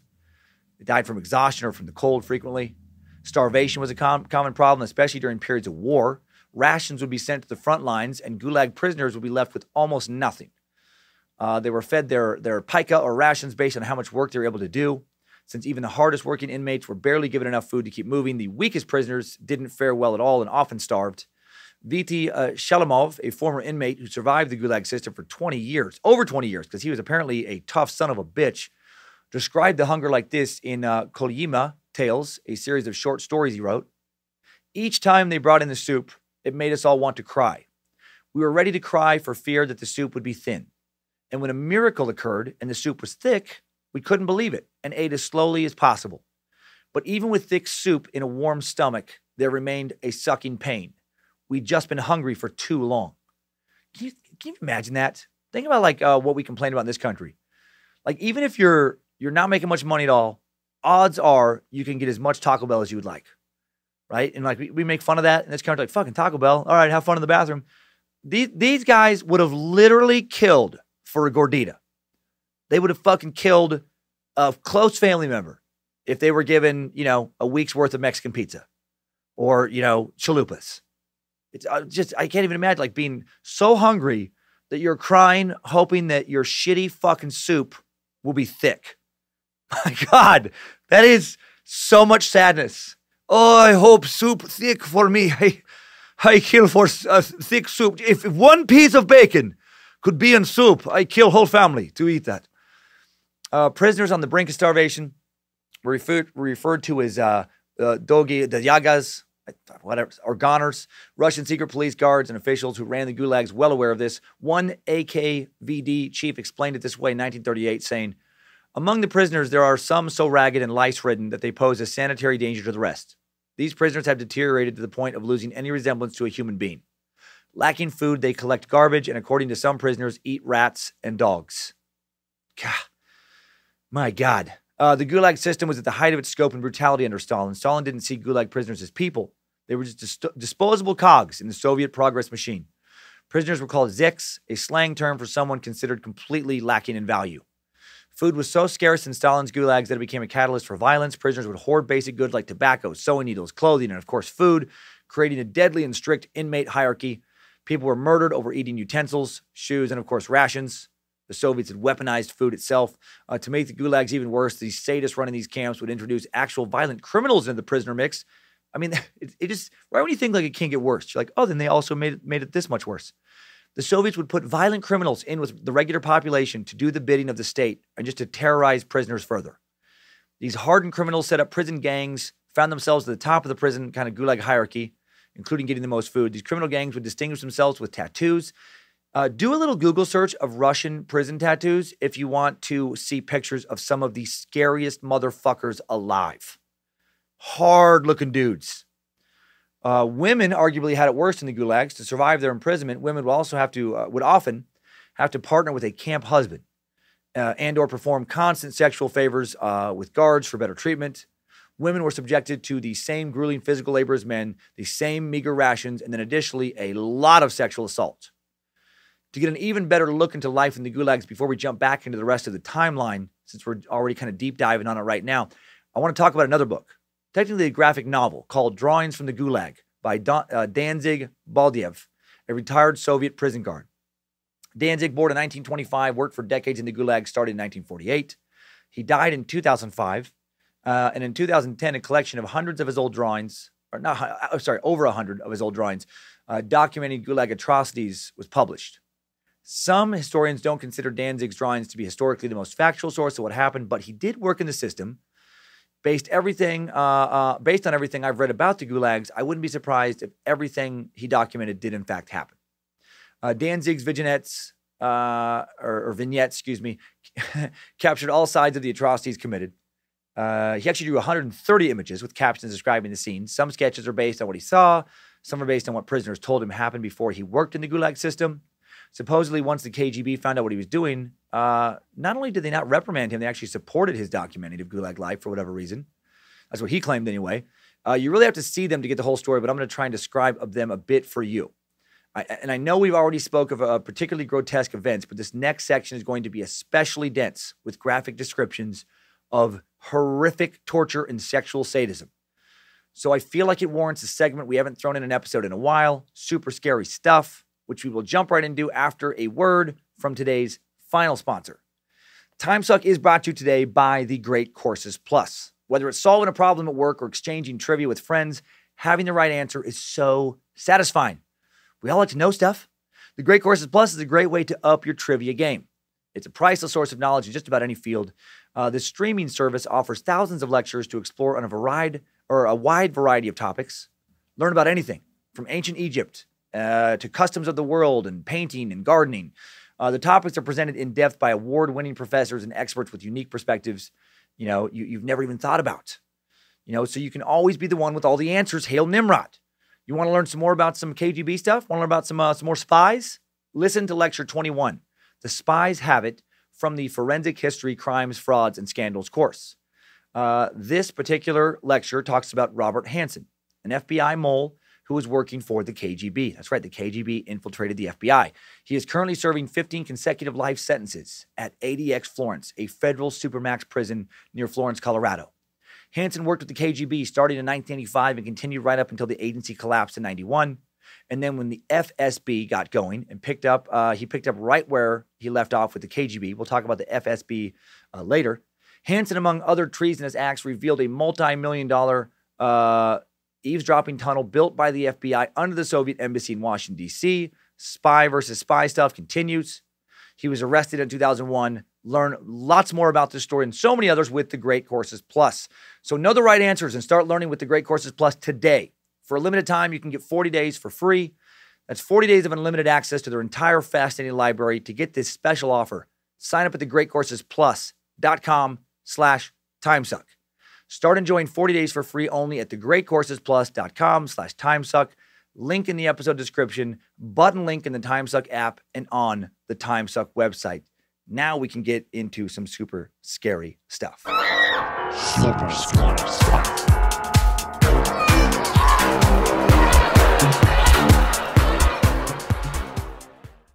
Some of the Danzig drawings focus on the horrific treatment of female prisoners.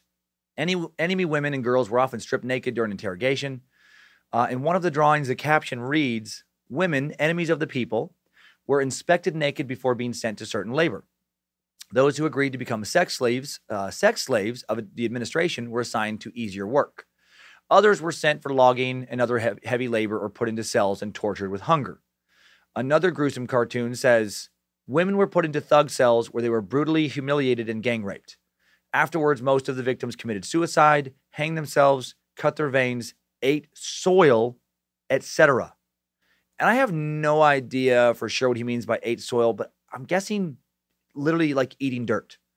What a terrible way to off yourself. I did look into that a little further, and apparently some people have committed suicide over, you know, in history in that way. My God. Literally eating dirt until I guess you choke yourself out. I, I can't imagine how much pain and hopelessness like one has to be drowning in to eat dirt in an attempt to kill themselves. The gulags were hell on earth. Uh, another one of the drawings, excuse me, depicts more rape, and the caption reveals how female gulag prisoners had no one to complain to, or at least no one who would actually help them. It says some perverts from the NKVD love to do this with young women and especially girls from enemies and enemy family members. Um, neither oral nor written complaints had been reviewed by officials. Honest and principled state attorney staff members were exterminated. The NKVD VD had unlimited right to take away any citizen's life, while state attorney office became a puppet accomplice of the NKVD with no own rights. Uh, sexual slavery was common in the gulags. One of the drawings reads Prison guards are selling live goods to thugs during the transportation. Women from Germany, Poland, and Baltic states were valued, especially, and gang raped. Some kingpins had a property of two to three such women. Another one of Danzig's captions speaks to the immense scope of this treatment, saying, With hunger, disease, and slave labor, millions of enemy and kulak women were murdered by communists. And all this talk uh, uh, apparently really pisses off one of our characters here on the suck. Uh, I can actually hear him kind of approaching. Former Houston pimp of young male prostitutes who has somehow transformed into kind of a feminist opponent of, of, of certain sexual work and sex trafficking. Uh, Chicken Joe would, would like to say something to you all. Bog bog, playboy. Bog bog. Chicken Joe can roll, everybody know, with some strong sexual flow. Chicken Joe's a man with pimping on his resume, but even he's against gulag sexual slavery. Chicken Joe might have sold some ass for cash, but he never treated his chickens like worn out pieces of trash. Someday Joe may pay for all the pimping Joe has done, but there's still a chance for redemption for my final setting of the sun. No such chance for all the gulag gangs and guards. The skin sins they committed done made their souls too scarred and hard. That was Chicken Joe speak for even a hardened former pimp like himself is shocked by the sexually violent acts perpetrated by the Soviet secret police in the gulags, and he thinks that their heinous deeds are actually unforgivable. And yes, Chicken Joe does talk about himself in the third person sometime. And yes, Chicken Joe is apparently uh, retired, at least from the moment, for, from pimping. Uh, the one time pimp is, is, is, more of, again, a, a, human sexual rights activist now. And, and I know shit just got weird for you, new listener, but some of us, uh, some of us love getting weird. Uh, most of us here love getting weird. Okay, now we're back to the topic of the day. Uh, many of Danzig's drawings revealed specific methods of torture. In one image, there is a man being held down by guards on a table. The caption reads, "A prisoner who went on hunger, hunger strike is being forcibly, forcibly, uh, forcefully, there we go, fed through his nostril. According to laws of Soviet humanism, only those who had a normal body temperature could be shot. Not totally clear what Danzig means by this exactly, but to me it sounds like some prisoners were fed to strengthen them up just so they could be executed. How insane is that? Uh, another image features a very bloody man on the floor being stepped on. The, his neck is being stepped on and he's being kicked in the balls. It reads, I am English, French, American, Japanese, Italian, German, and other spy. That's how they treated spies, I guess. Another drawing is of a Russian guard pissing on a tied up man who's being held down by another guard. Uh, the victim looks like he also has a severed penis or possibly fecal matter in his mouth. It reads, Sprinkle him with holy water for a better afterlife. I'll give him snow so bulls won't walk into him too soon. Danzig, maybe not so great with the captions, or, or, or maybe just the translation gets a little weird. Maybe maybe maybe some sort of Russian gallows humor is being lost on me with some of these. Just uh, sprinkle holy water upon that man, and by sprinkle holy water I mean cut dig off and shove in mouth. you get it? Uh, I guess joke not to translate well. Uh, Danzig describes so many diabolically creative forms of torture through the accounts of survivors and guards. Uh, the NKVD used pumps, soldering irons, electrocution, stabbing, and hanging to reprimand prisoners. Bottles were shoved into vaginas and anuses of people who misbehaved. Red hot crowbars were also said to be shoved into people's orifices. Uh, there are also, and this is going to be real bad, uh, as if that stuff wasn't what I just said. There's also accounts of live rats being placed into a heated bucket under a poor son of a bitch's anus to force the rat inside of his butthole to do whatever a rat does in that situation, which I can only imagine has to be extremely unpleasant. I mean, do you have any other thought when a rat starts to push inside of you other than no, no, no, no, no, no, no, no, no, no, no? Like, I don't think you do. I don't think you have any thoughts like, all right, this might not be so bad. I'm going to give it a chance. Or, okay, just relax and enjoy it. Or, oh, perfect. This is exactly how I wanted to go out. Danzig also draws, uh, draws images of various executions, uh, some of which are done by beheading. Many of these were decided on not by the guards, but by the court of thieves, uh, those vicious Russian prison gangs who decided how to torture and who to torture oftentimes. One image is of a guy uh, having a burned poker shoved up his ass by the guards. The caption reads, After we'll fuck this scoundrel's ass, he'll be quick to remember how to make sabotage against Soviet regime and party in university with his cybernetics. Again, kind of kind of strange translation.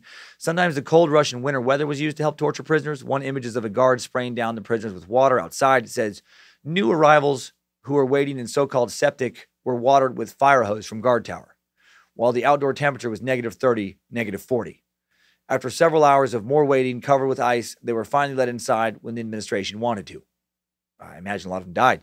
Uh, another caption reads With the most brutal and horrible medieval tortures, the NKVD was beating out of innocence completely absurd confessions like spying for capitalists and died, some made up country name.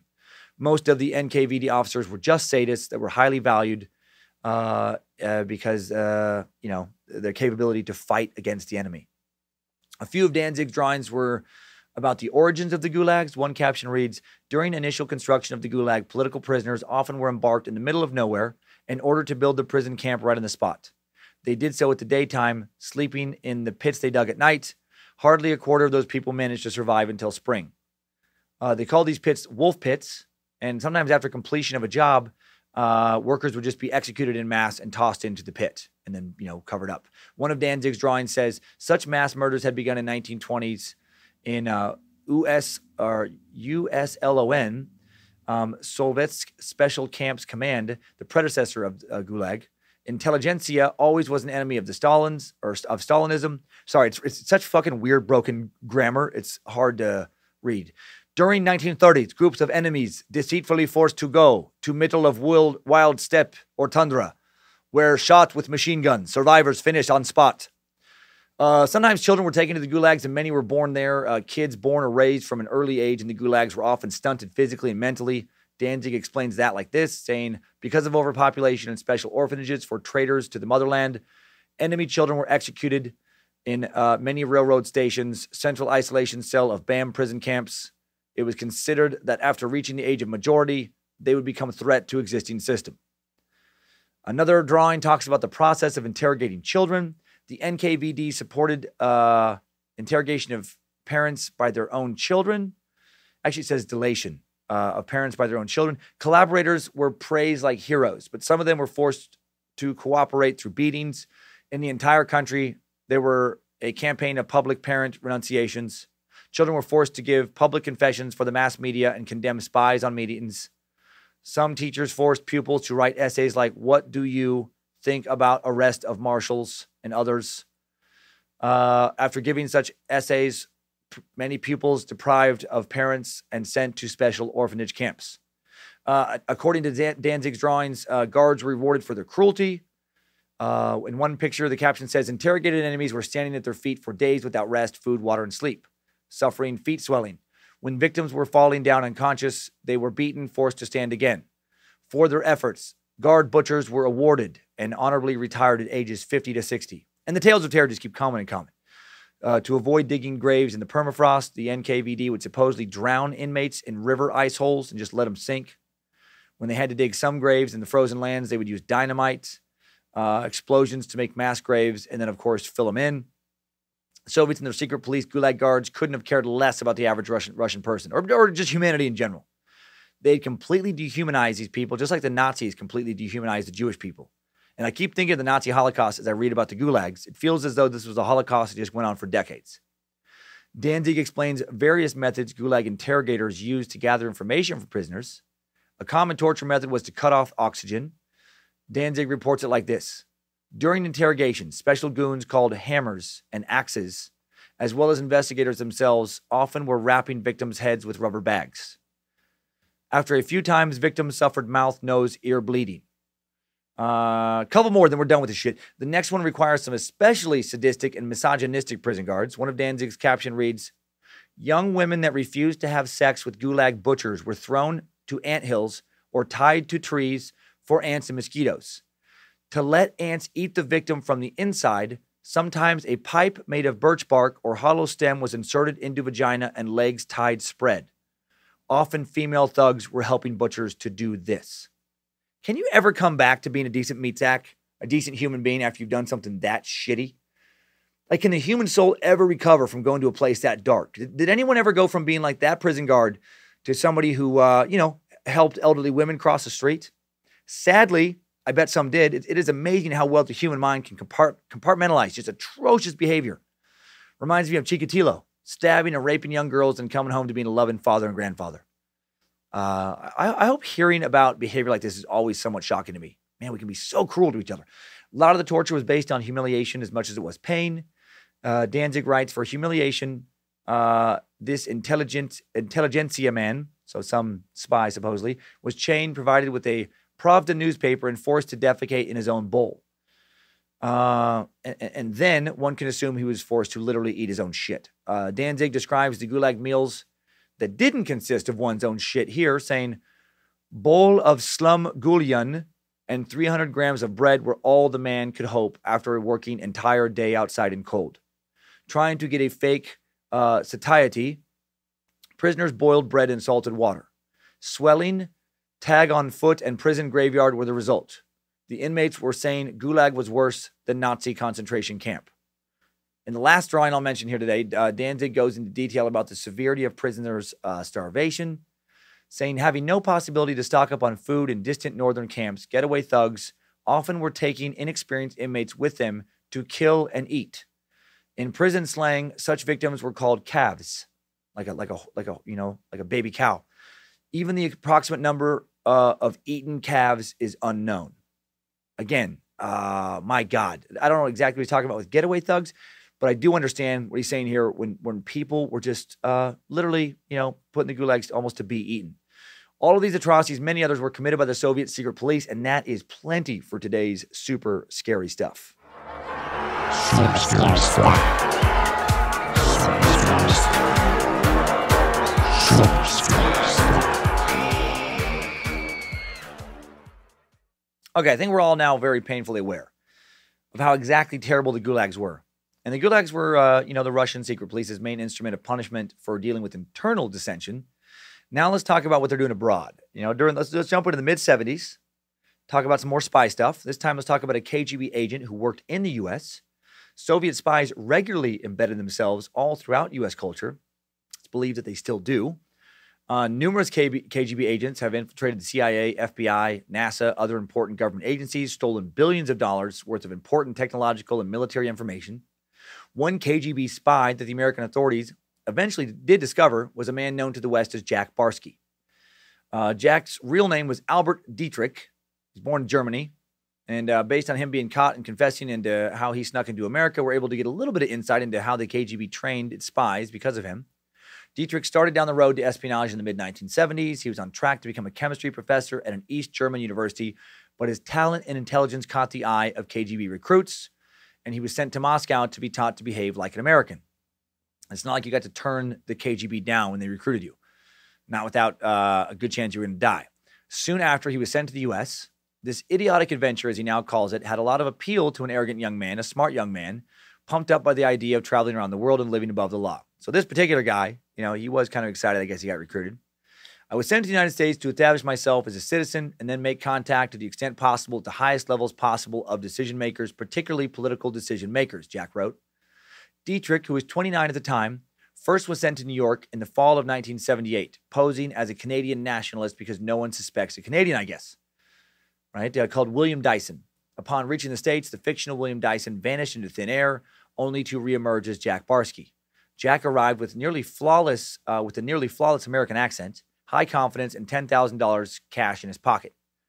According to Dietrich's uh, memoir, Deep Undercover, the name Jack Barsky was taken from a real person named Jack Barsky who died in 1955 at the age of 10.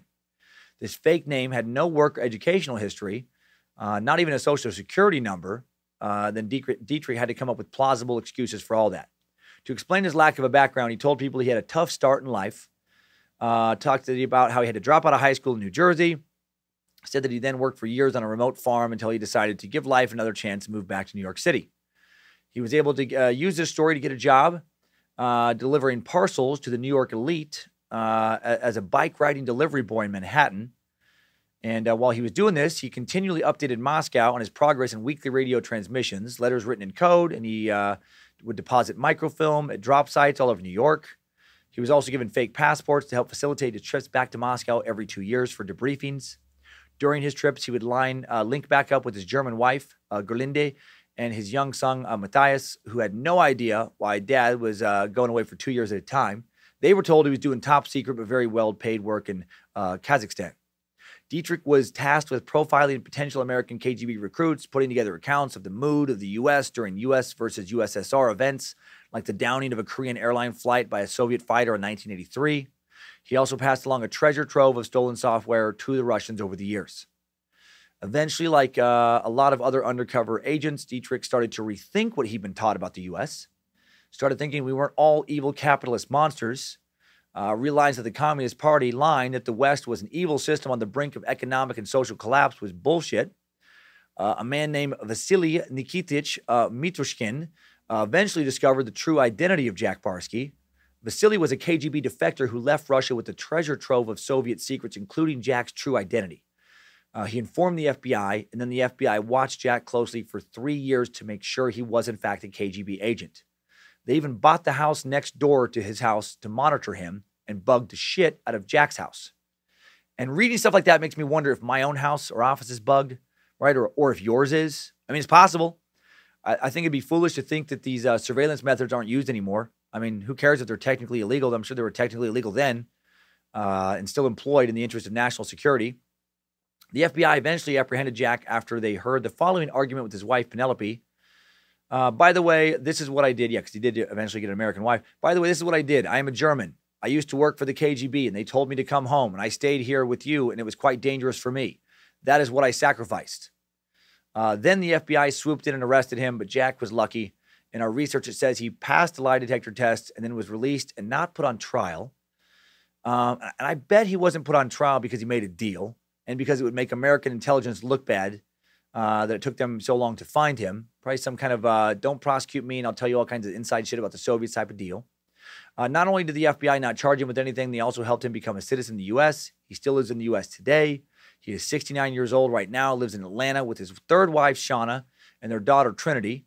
Funny twist to this story the FBI agent who posed as Dietrich's neighbor and interrogated him after he was detained ended up being such a close friend that he is Trinity's godfather. Uh, I love that, man. Um, let's bounce up to 1985 now to talk about an American CIA agent the KGB was able to flip Aldrich Ames. Aldrich Hazen Ames was born in Wisconsin on May 26, 1941, the son of a CIA analyst. A well educated man, Aldrich attended the University of Chicago for two years, would later get a degree from George Washington University in 1967. Ames became a CIA trainee while in school in 1962, would go on to recruit U.S. spies among Soviet nationalists while he was posted in Ankara, Turkey from 1969 to 1972. He would live in the United States until 1981, then, when he was then sent to Mexico City. There, he met his second wife, a Colombian named Maria del Rosario Casa Dupuy. Uh, he recruited his future wife to work for the CIA. They married in 1985 while he was based at CIA headquarters in Washington, D.C and then he would be posted in Rome from 1986 to 1989. And then in 1985, assisted by his wife, Ames began selling American intelligence secrets to the Soviets. Uh, he retired from the CIA, but was still able to get his hands on some of the U.S.'s uh, most sensitive information. At least 10 CIA agents working undercover in the USSR were executed as a result of Aldrich's information. How insane is that shit, man? This guy sold out uh, you know, his country and got at least 10 of his former colleagues killed. Like, I know we've all worked with people we might fantasize about having killed, you know, Reverend Dr. Joe. But this son of a bitch basically did that. By the end, uh, Ames had revealed the name of every U.S. agent operating in the Soviet Union. For their services, the Russians paid Aldrich and his wife Maria over 2.7 million. Uh, they were finally arrested in 1994. Uh, this was the most money the Soviets had paid to America uh, or to an American for spying that we know of. Aldrich's unexplainable increase in wealth is actually what put him on the FBI's investigatory radar. After his arrest on February 21st, 1994, by the FBI in Arlington, Virginia, Aldrich was convicted of espionage, given a life sentence. Uh, he'd worked for the CIA for 31 years and then worked for the Russians for almost a decade. Maria Ames was given a five year sentence for tax evasion and conspiracy to commit espionage.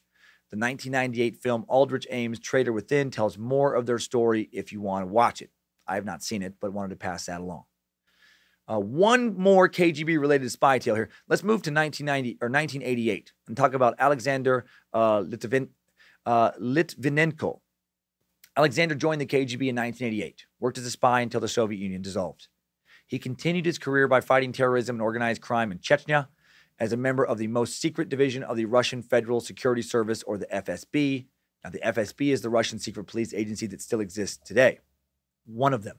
Uh, in 1998, Alexander's life started to fall apart after he went public and said that an FSB official had ordered him to assassinate one of Russia's most powerful men, Boris uh, Berezovsky, a Russian billionaire who was staunchly opposed to Vladimir Putin before Boris died in 2013. For tattling on the FSB, they threw him in prison for exceeding his authority at work. Alexander uh, escaped during the court process, ended up in London. He would publish two books, including Blowing Up Russia, The Secret Plot to Bring Back KGB Terror.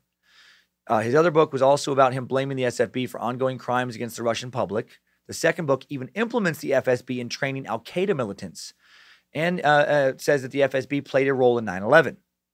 In 2006, at the age of only 43, uh, Litvinenko died from a mysterious illness.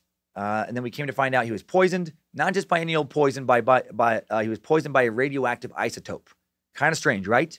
Before his death, uh, he just told the New York Times that he thought the SF, FSB poisoned the Ukrainian presidential candidate Viktor uh, Yushchenko in 2004 uh, with the, by the same means. Okay, now let's talk about the fall of the KGB. December 25th, 1991. This is the day the Soviet Union officially dissolved. Uh, the date of independence given to the republics of the Union of Soviet Socialist Republics. The Soviet Union had been collapsing for years. Now it was official. Nations like Armenia, Ukraine, and Belarus uh, now had their independence. With no more Soviet Union, there was no more KGB. The Iron Curtain had fell. The Cold War had officially ended. New Russian President Boris Yeltsin bans the Communist Party. Communism soon ends in Afghanistan, Albania, Angola, Congo, Kenya, Yugoslavia, and other nations. Boris is the first president of the Russian Federation. Again, the KGB ceases to exist. However, secret police agencies do continue to operate out of Moscow.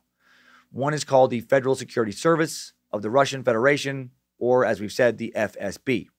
The FSB, formally established in 1995, but it had already been you know, operating for a couple years, the FSB employed about 66,000 uniformed staff, including about 4,000 Special Forces troops. It also employs uh, a border service of about 200,000 border guards. Uh, the BBC has referred to them recently as Putin's, Vladimir Putin's elite spy club. The FSB is tasked with tackling perceived threats to the Russian state. Current Russian leader Vladimir Putin ran this agency before he came to power. Part of the FSB's job is to prevent any pro Western color uprisings in Russia, like Georgia's 2003 Rose, Re- Rose Revolution and Ukraine's 2004 Orange Revolution. In 2002, the assassination of an Arab jihadist commander in Chechnya, known as Khattab, was attributed to the FSB. His Czech, uh, Chechen comrades said he received a letter laced with poison. In our most recent presidential election, the FSB is thought to have targeted voters online with disinformation campaigns and spread online propaganda to sway the election. Many believe the FSB uh, is continuing to fuck with America by spreading disinformation online right now, creating fake websites, uh, you know, creating bots that retweet and repost false information, aka fake news. Some believe the FSB to be behind the entire Pizzagate conspiracy we already did a full suck on. Uh, also, the GRU is another current descendant of the KGB. The GRU aka the main directorate of the General Staff of the Armed Forces of the Russian Federation, is Russia's primary foreign intelligence agency. They do all the overseas spying, well, or most of it. It's, it's very complicated. The GRU is known for its ability to track and neutralize foreign enemies often before attacks occur. And again, there are other Russian intelligence agencies. Uh, there is the Foreign Intelligence Service, or the SVR, uh, the Civilian Foreign Intelligence Agency of the Russian Federation, Uh, it's the direct successor to the first chief directorate of the KGB, works with the military foreign intelligence agency of Russia called the Main Intelligence Directorate. The SFR also has foreign spies, also has internet experts and assassins, surveillance experts, economic uh, espionage arenos. So even though the KGB is over, even though the Iron Curtain has fallen, there are still a lot of spies and uh, still a lot of you know sneaky shit coming out of Russia, and that takes us out of today's epic time suck timeline. Good job, soldier. You made it back. Barely.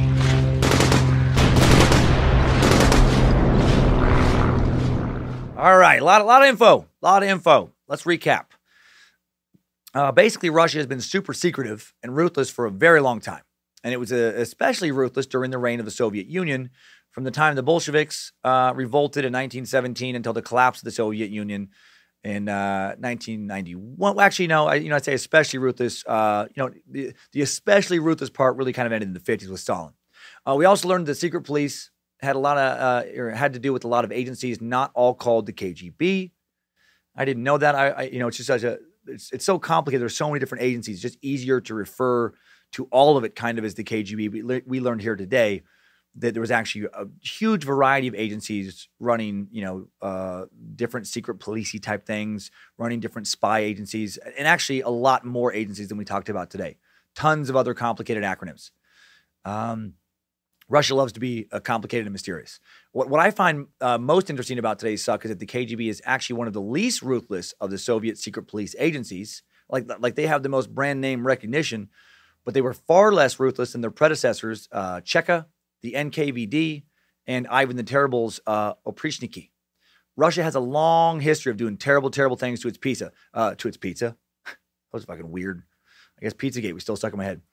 It uh, does a lot of terrible things to pizza, you know? It says you're going to get Canadian bacon, but then it's like, we have no pineapple. Ha ha! Enjoy just bacon and cheese. It's, it's not doing really bacon. It's ham. It's, you not get what you want. No. They've done a lot of terrible things to their people but so have a lot of countries, I guess. It, it just seems that Russia has done more than most. Uh, during the reign of Stalin, especially Russian secret police kept Russian people living in fear of being tortured or killed or sent to the gulags, where they would then most likely be tortured and killed. Uh, various secret police agencies spied on both the Russian people and the rest of the world and continue to do so. Anyone deemed a threat to whatever current regime has been in power have been imprisoned, exiled, or killed. While it doesn't appear that anyone is being boiled alive anymore, or worked to death or having a rat sent clawing up their ass, uh, Russia's citizens do still live in fear of false imprisonment or worse. Uh, check out this recent Russian tale of Ildar Dadin, a Russian activist opposed to Putin's rule. Uh, Ildar and Anastasia Zotova fell in love in Moscow in August 2014, married the next year. By the time they tied the knot, however, uh, uh, Ildar, a 34 year old opposition activist, was behind bars for staging unsanctioned protests against the Kremlin. Uh, Anastasia, you know, uh, excuse me, Zotova, 25 year old former journalist, wore white to the wedding ceremony. Their friends toasted the newlyweds with champagne on the street outside. The couple planned on having, you know, two or three kids. Hoped the eldest would be a boy. And then, uh, you know, life kind of fell apart for a little while. In September 2016, uh, Dadin was transferred to a notorious penal colony in a remote region of northwest Russia, where prison staff reportedly still torture inmates. In December of 2015, uh, Dadin became the first person to be jailed under a controversial law that stipulates prison time for anyone who repeatedly is detained at illegal protests. The law, approved by Putin in July 2014, effectively outlaws any form of public dissent, um, even if it's peaceful, like the protests for which Dadin arrest- was arrested. Amid angry scenes at central Moscow courthouses, Dadin was sentenced to three years in jail, later reduced to six months on appeal. Amnesty International publicly recognized him as a prisoner of conscience. Over the next few years, Dadin's wife Anastasia would lose track of her husband's whereabouts as he disappeared into Russia's sprawling, brutal penitentiary system. Then, in early November of 2016, nearly two months after Dadin's transfer to penal colony number seven, Anastasia received a letter from her husband smuggled out of the prison camp by his lawyer. Dadin had been thrown into solitary confinement upon arrival. Uh, they said he'd been hiding two razor blades amongst his possessions. Uh, he would uh, claim that the, they were planted on him by prison guards. He went on a hunger strike in protests, and his defiance was met with violence. The day after his arrival, he said he was beaten a total of four times by 10 to 12 people at once. After the third beating, They stuck his head into a toilet bowl uh, in a punishment cell, he says. Uh, he also alleges the beatings were overseen by the penal uh, colony administrators or administrators. Then things got worse. He says on September 12th, staff cuffed my hands behind my back and hung me up from the ceiling.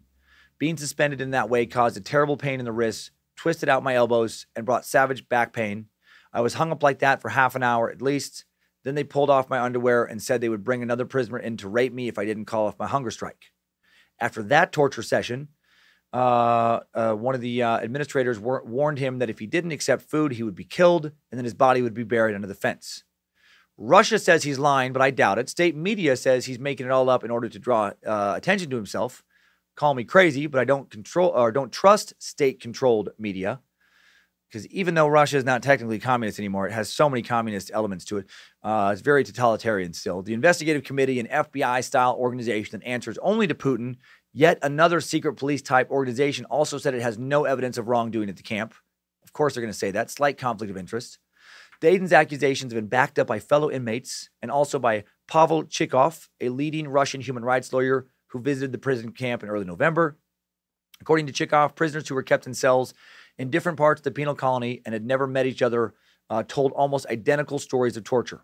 Some spoke of being left almost naked for days on end in freezing punishment cells. Muslim prisoners claimed they were tortured for refusing to eat pork uh, or for praying. If you didn't get beaten more than twice a day, then you were living excellently, uh, said another prisoner. Torture is not only a regular occurrence in penal colony number seven, uh, according to the human rights, uh, according to human rights activists. As Zotova admitted, the treatment meted out to her husband was less severe than the abuse many prisoners face in other penal colonies.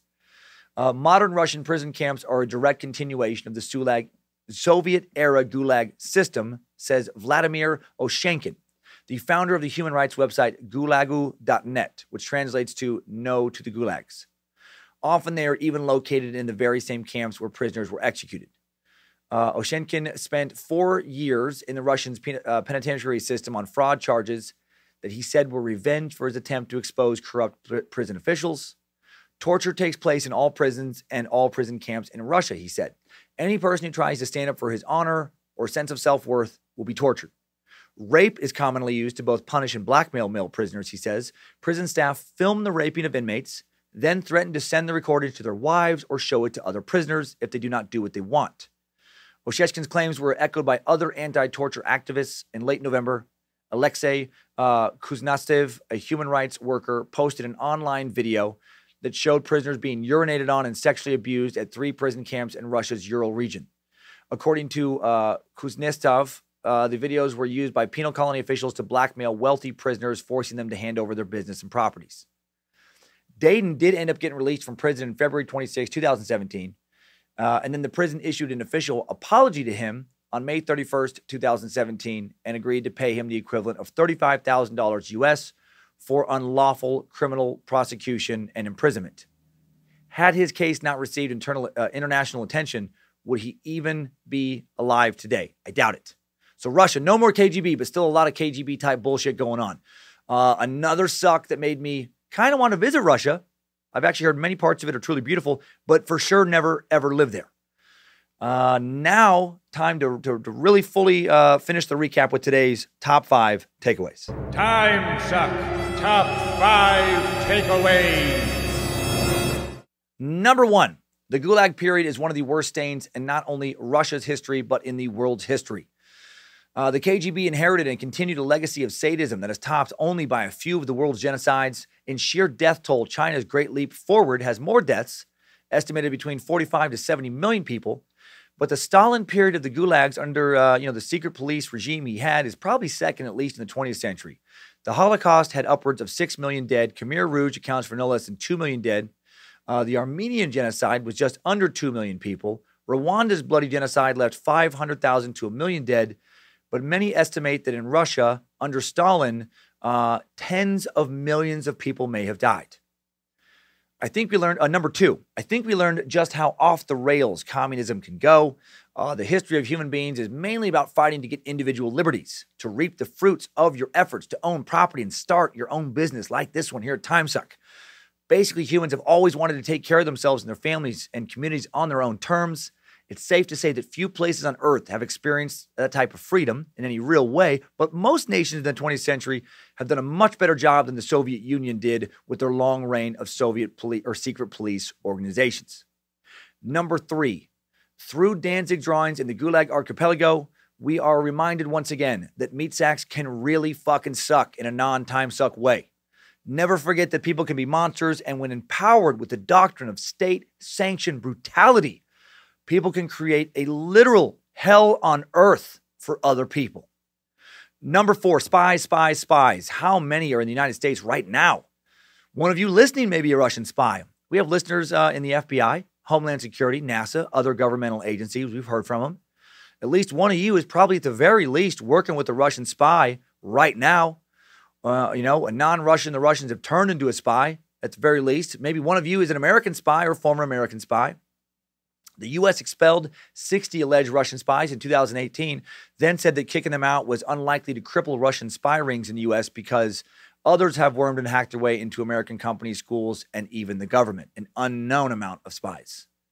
Number five, new info. Perhaps the most famous of the KGB's officers and spies is Vladimir Putin.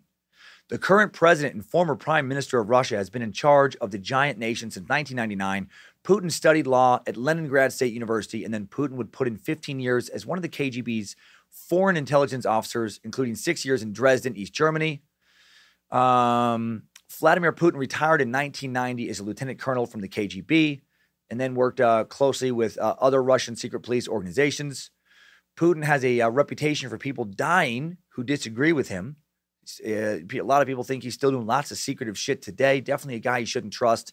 Even recent Putin critics like opposition leader Boris Nemtsov find themselves getting gunned down after speaking out. In Boris's case, he was critical of Russian intervention in Ukraine, and then he was shot outside the Kremlin on February 27, 2015. Putin was also implicated in the murder of Alexander uh, Litvinenko. I've said it probably every time I say his name, I feel like I say it slightly differently. This is that former officer for the KGB successor, the FSB, who we talked about getting poisoned earlier after he escaped and made it out to London. A guy who defected to the UK but was poisoned and died while drinking tea in a London hotel bar. What secretive shit is Putin up to right now? I got to say, the media's fixation with possible Russian meddling in American political dealings does not seem nearly as paranoid to me as it did before this week's research. You know, what is big deal? So he spies, so maybe he kills some time, so maybe he wrestle. Do you not finally see it? It's just Russian way. Chikatilo not so bad. Chikatilo could have been fine KGB Gulag guard. Would have been rock hard every day in such fun, bloody place. Ah, Chikatilo just a strong Russian. Time suck. Top five takeaways. Never guessed I would learn so much about Russia through Time Suck. The KGB has been sucked. I hope you liked it. Hope you didn't get too hung up by uh, my uh, uh, horrific attempts and moments to describe so, so many names. Uh, I wish they just could have all been like Anderson and Johnson. Uh, Dimitri Anderson, you know, Sasha Johnson. Would have been a little little easier. Big thanks to the Time Suck team. Thanks to Queen of the Suck, Lindsay Cummins, High Priestess of the Suck, Harmony Camp, Jesse, Guardian of Grammar, uh, Guardian of Grammar Dobner, Reverend Dr. Joe Paisley, Time Suck High Priest Alex Dugan, the guys at BitElixir, Danger Brain, Access Apparel. Thanks to Heather Knowledge, Ninja Rylander uh, for kicking off the research. And thanks to, again, he who now has a nickname, Zach Script Keeper Flannery. Next week, we have another big, sprawling, barely able to be contained topic Vietnam.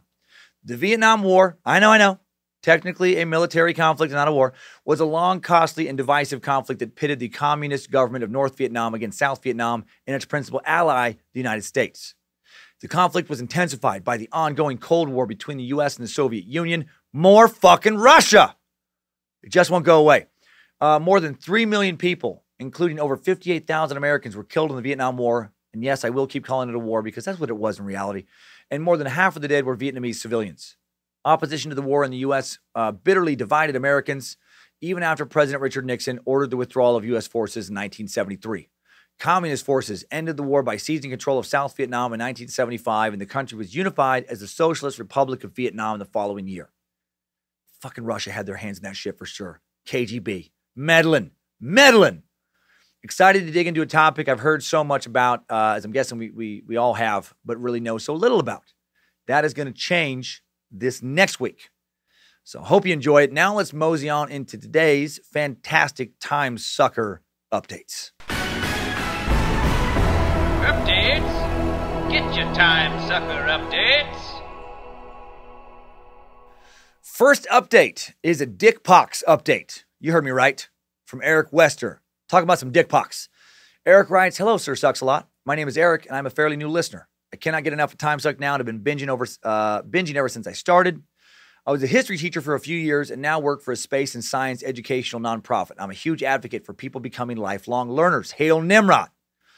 And uh, I've been super impressed with the amount of research and detail you put into each subject while keeping it super entertaining. Your podcast really helps people enjoy learning, and I believe helps listeners find new perspectives, and even better, challenge their own perspectives from time to time. Anyways, thanks for all you do and your team does. Hail Nimrod. Uh, anyways, enough praise. I wanted to tell you a story that had my wife and I laughing. I've been trying to catch up on episodes, and I came across the Andrew motherfucking Jackson episode, the part where you were talking about tit and dick pox. had me dying laughing because I had a similar thing happen to me. A week before my wife and I got married, I got the chicken pox. Someone we know does not believe in using vaccines, fucking anti vaxxers. And her kids had the pox. Yeah, of course they did. I thought I was okay because I had the vaccine a long time ago, but I did not realize I needed a booster vaccine to be immune. It hit me hard and I had pox everywhere. I severely suffered from dick pox and was concerned about our wedding night, so to speak. Luckily, by the grace of Lucifina, everything cleared up except for a few face pox for the wedding, and all the important parts were in ship shape for the wedding night. Anyways, your dick pox tangent was just about the funniest thing I've ever heard due to this due to some personal experience. Thanks again for all you do. Praise Bojangles and keep on sucking. Thanks for sharing that update, Eric. I will keep on sucking. Uh, I'm guessing your dick pox is all all totally you know healed. I mean, it sounded like it was cleared for the wedding night, and uh, and I'm sorry that happened, but I'm glad you got a story about it. And now, I, wish I wasn't wondering about your dick because I'm wondering like, do you have chickenpox scars on your dick? Which is a strange thing to wonder about. Uh, well, I hope you don't. I hope you I hope you have either a super handsome dick or that your wife loves a battle scarred chickenpox dick. now, some words of encouragement in the fight against ignorance from Time Sucker Emmy. Emmy writes, Hello, Master Sucker. I know I've written it before, but I had to write again uh, before I left for work for the day. After hearing about the response to, the, to your supposed ignorance uh, portrayed in the moon landing conspiracy episode, I did not see anything of that sort throughout that entire episode. If I'm quite honest, I'm glad that you were so passionate about it. I know several people who have dropped out of college who act as though they are more intelligent than doctors out there who believe these kinds of conspiracies and take religion as a thousand percent fact. I'm honestly tired of seeing this kind of thought passed off and tolerated by so many people. Maybe it's just me, but it seems that ignorance is becoming just as terrible as hatred, and I hate the whole they have a different opinion thing. Ignorance kills so much potential for intelligence. It's one thing to be dedicated to religion. That is not what makes me upset. What makes me upset is when religion is taken as total fact and science, if it conflicts, is just bogus. This is what will cause people to destroy this planet because of science taken away from being important. There was a reason why so many people hundreds of years ago would have begged for our modern medicine to help them out, and why so many people are glad to be alive now. This includes myself. Because of my own health when I was born, I would have not lived very long in the past. Thanks to medicine, I was able to rec- recover from jaundice, gain therapy for potential autism. Uh, I now have close to 20/20 vision with glasses and contacts, and most importantly, I have medication that helps me stay stable mentally to be able to function and have a life. I know I'm rambling, uh, but this is uh, uh, basically I'm saying in the is that ignorance kills all of these wonderful potential things from happening and can be just as harmful as hateful attitudes towards others, like racism, misogyny, etc., etc. I do feel bad to hear someone that was uh, being so angry. I just wish people could think about it for just a moment. I don't wish to live in a place where medicine and technology never evolve because of people not wanting to believe something so important in our history and to uh, pursue scientific knowledge. Anyway, that's all I have to say. I'm slowly catching up with the Secret Suck. So glad to be a space lizard. Thank you for all that you do. Hail Nimrod, Emmy. Thank you, Emmy. Thanks for your comments. I appreciate them.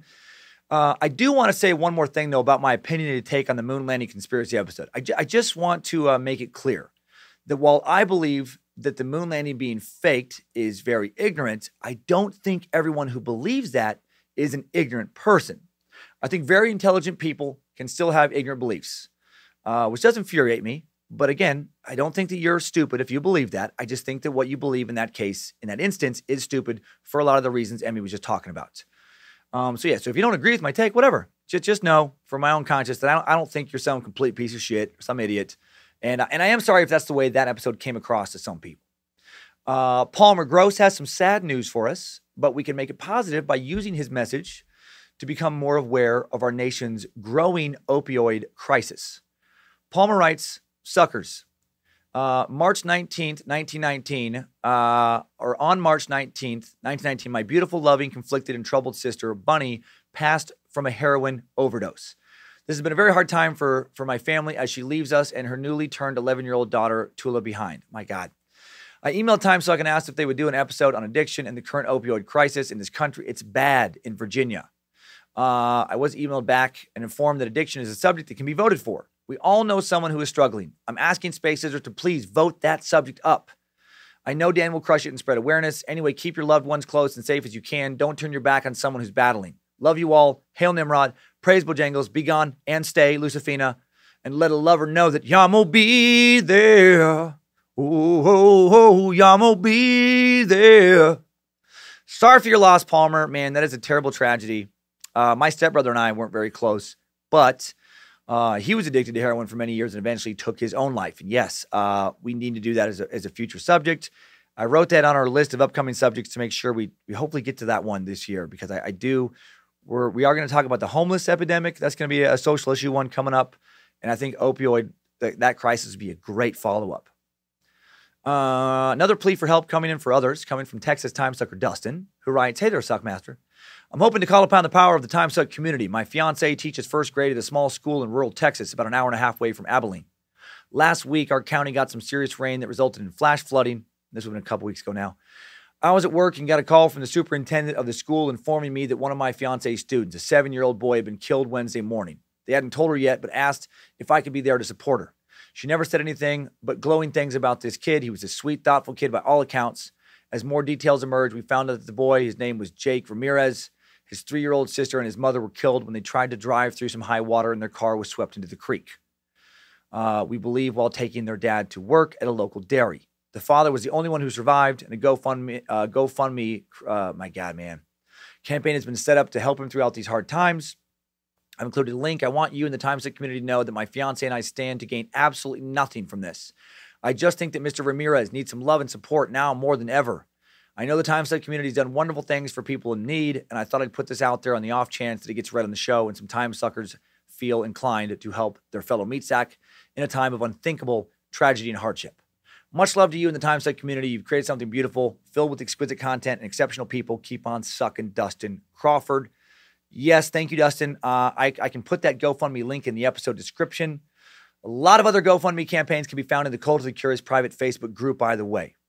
And, and I know some of you sometimes get uh, get irritated that you know you can't post those over and over every day, but we just have so many listeners now, which we're so thankful for, and there's so many uh, you know uh, people in need uh, that, that if they were posted always all the time, that that's the Facebook group would be nothing but GoFundMe links. Um, and also, I know some of you guys get frustrated you don't get your GoFundMe link read in the show. Just know that we get literally hundreds of emails every week now. Uh, 10, I don't know, 20, 30 GoFundMe campaigns every week. And again, it just it would be a three hour episode of just uh, a litany of things. And then, then, then they would end up just getting lost in a sea of campaigns. But I am sorry, we can't uh, promote them all. Adam O'Neill does have another update regarding uh, recent devastating tornadoes that have affected members of the Time Suck community. He writes, Dear Suckmaster, first off, huge fan of the show and your stand up. So much that my wife and I drove to the Dallas show just 24 hours after our hometown, Ruston, Louisiana, was hit by an F3 tornado. We got the tree off my house and headed straight to the show. My God, thank you for that dedication. The show was amazing. It was just what we needed to take our minds off the disaster back home. Ruston is a beautiful community filled with amazing people that came together to rebuild after so much destruction, but there's still a lot of work needs to be done. If there's any way you could share our story and fundraising program, it would be greatly appreciated. Long live the suck and praise Bojangles. Keep on sucking, Adam. And I did include that one as well. And now, a powerful personal immigration update. So, a little update to the immigration episode from Time Sucker Nico. Uh, Nico writes A few weeks ago, I re listened to the Time Suck and immigration. It's an issue that's always on my mind, but has been a little more so uh, on my mind recently. So, I wanted to refresh myself on your take. You said a lot of great things and gave a lot of great facts, and I appreciate the way you handled it. It's a huge topic, and there can be some angles to the issue you just can't give from your point of view. So I hope my story helps round it out. My name is Nico. I was born and raised in Georgia. I still live here to this day. My dad's family is from El Salvador. My mom's family is from Paraguay. My dad's family moved to Los Angeles back in 1967. He's the youngest of five and the only one to have been born in the US. My mom moved to the metro Atlanta area in 1987 when she was 16 years old. Didn't know any English when she got here. She loves to remind us that she ate pizza every day at school for at least for her last two years of high school because that's the only thing she knew how to order in the school cafeteria. that is strangely adorable. Y- yes, uh, pizza. Pizza, por favor. Yes, pizza. Uh, pizza muy, muy bueno pizza. Uh, that is so fucking cute. Uh, my mom has since learned perfect English and speaks it way better than most native speakers. Oh, I'm sure, including myself. I'm sure if your mom listens to this, she'd be like, Jesus Christ, pull it together. Even I can say fucking Russian names. Uh, my mom is a nurse now, saved many lives in her 10 plus years as a nurse. My dad joined the Marines when he was 17. Oh man, thank your dad for his service. Forced my grandparents to give consent, but he was going because he was going to join as soon as he turned 18 anyways. My dad was set on following the examples of his older brothers. My oldest uncle, Romeo, was in the Marines during the tail end of the Vietnam War, served for some time over there, spent a little time in the Philippines as well. Their other brother, Joel, also joined the Marines, was a helicopter mechanic in the late 80s and 90s. My father joined the Marines in the early 90s, was trained to shoot Stinger missiles. He spent some time overseas during Operation Desert Storm. My parents got divorced a while ago and have both since remarried. They both uh, happened to remarry Mexicans, which is a silly coincidence. One of my stepmom's brothers also joined the Marines in the mid 2000s, did a tour overseas on an aircraft carrier. Can we get an ooh fucking raw? Hoorah! I know I don't, I don't think I'm qualified to do that, but you asked. All this sounds great, right? Well, here's uh, some of the ugly stuff that comes in. Two very important people in my life are part of the DACA program. And now, now you did mention this during the suck on immigration, but just a quick refresher: people that are el- eligible for DACA are so because they were brought into this country at a very young age. My stepmom is uh, a DACA, and so is my fiance. More on her in a bit. My stepmom is also a badass. She's currently pursuing her master's in nonprofit business. She helped build a nonprofit in Metro Atlanta that provides mental health treatment to people without health care coverage. My stepmom has also gone through years of red tape trying to become a US citizen, and let me tell you, it's fucking hard. She's now a resident, but she still can't vote. In the suck on immigration, you mentioned a quote by Donald Trump where he talks about how this country is great because it is a country of consequences. The quote was on this whole DACA issue that's been going on for quite some time now. And I get that, I really do. But holding my stepmom accountable for illegal shortcuts and decisions her parents made doesn't make sense to me. To me, it's the same as holding the child of any thief, murderer, any kind of criminal accountable for what their parents did. That does make really good sense.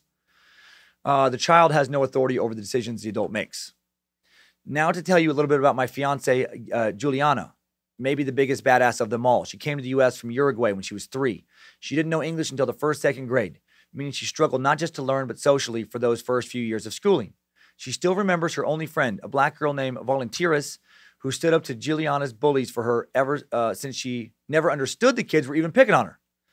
Uh, Juliana, I, that's that's also fucked up, but also kind of adorable. Where like these kids were saying like horrible shit, and she just like "Uh, no sé, no sé, no sé. Uh, Juliana has worked so hard throughout her young life to get to where she is. She was a student who uh, uh, also went above and beyond with extracurriculars because she's a DACA. A decent undergrad education almost seemed like an impossibility for her, but she never let that stop her. She got accepted to Berry College, one of the most beautiful schools in America and expensive as hell. Another obstacle for her to climb, but again, she pushed ahead, got accepted into a scholarship program called the Bonner Foundation. Juliana became the student leader of the scholarship program, the biggest at her school by her senior year. Throughout her time in school, she has volunteered for over 1,000 hours. She spent all three of her summers doing unpaid internships for nonprofits. This Saturday, she's going to graduate with a 3.5 GPA, $0 in student loans. She's my hero. We don't know what the future holds for her immigration status. We're getting married this fall. We have thousands of dollars, ridiculous amounts of red tape, and no guarantees standing uh, in her way to citizenship. Uh, a truly scary road lies ahead of us. I will be by her side no matter what happens, but America is all she and I have ever known. It's scary to think that at any moment after her current DACA status expires, she could be forced to leave the country. The biggest kicker of them all no matter what the people in my family story is, regardless of their immigration status, uh, all legally here, by the way, I could tell you countless stories of when my family has gotten treated like illegals. We all speak perfect English.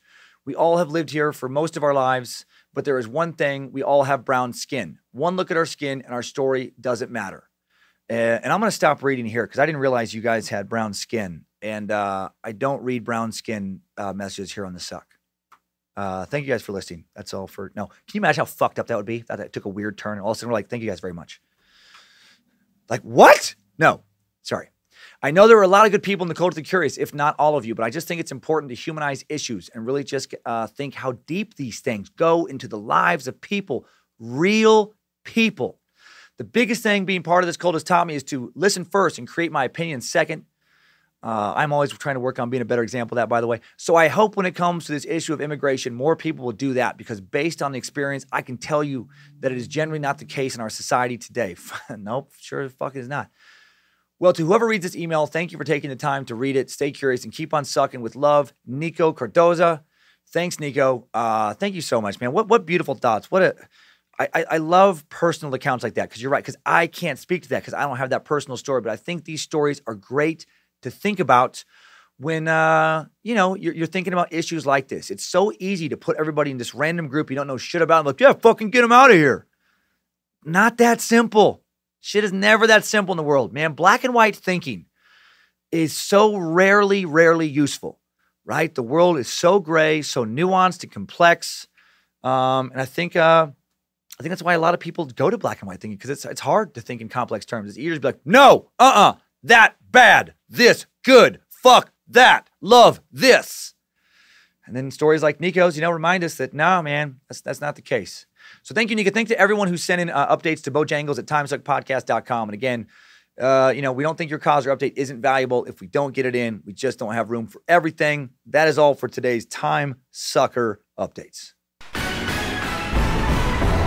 Thanks, time suckers. I needed that. We all did. That's all for today, Time Suckers and Space Lizards. Have a great week. Think of me when you eat your sweet, sexy nanos. Put your dick on. If you come across a time machine, don't go back to early or mid 20th century Russia unless you're real into uh, masochism. Oh, and uh, there's one other thing. Keep on sucking.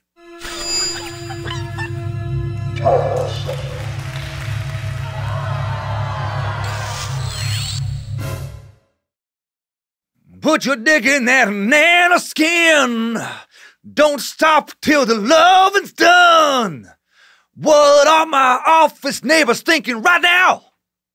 Yeah, yeah. Got this. Uh, this like a nana get to bow, bow, bow, bow, bow, bow, bow, wow.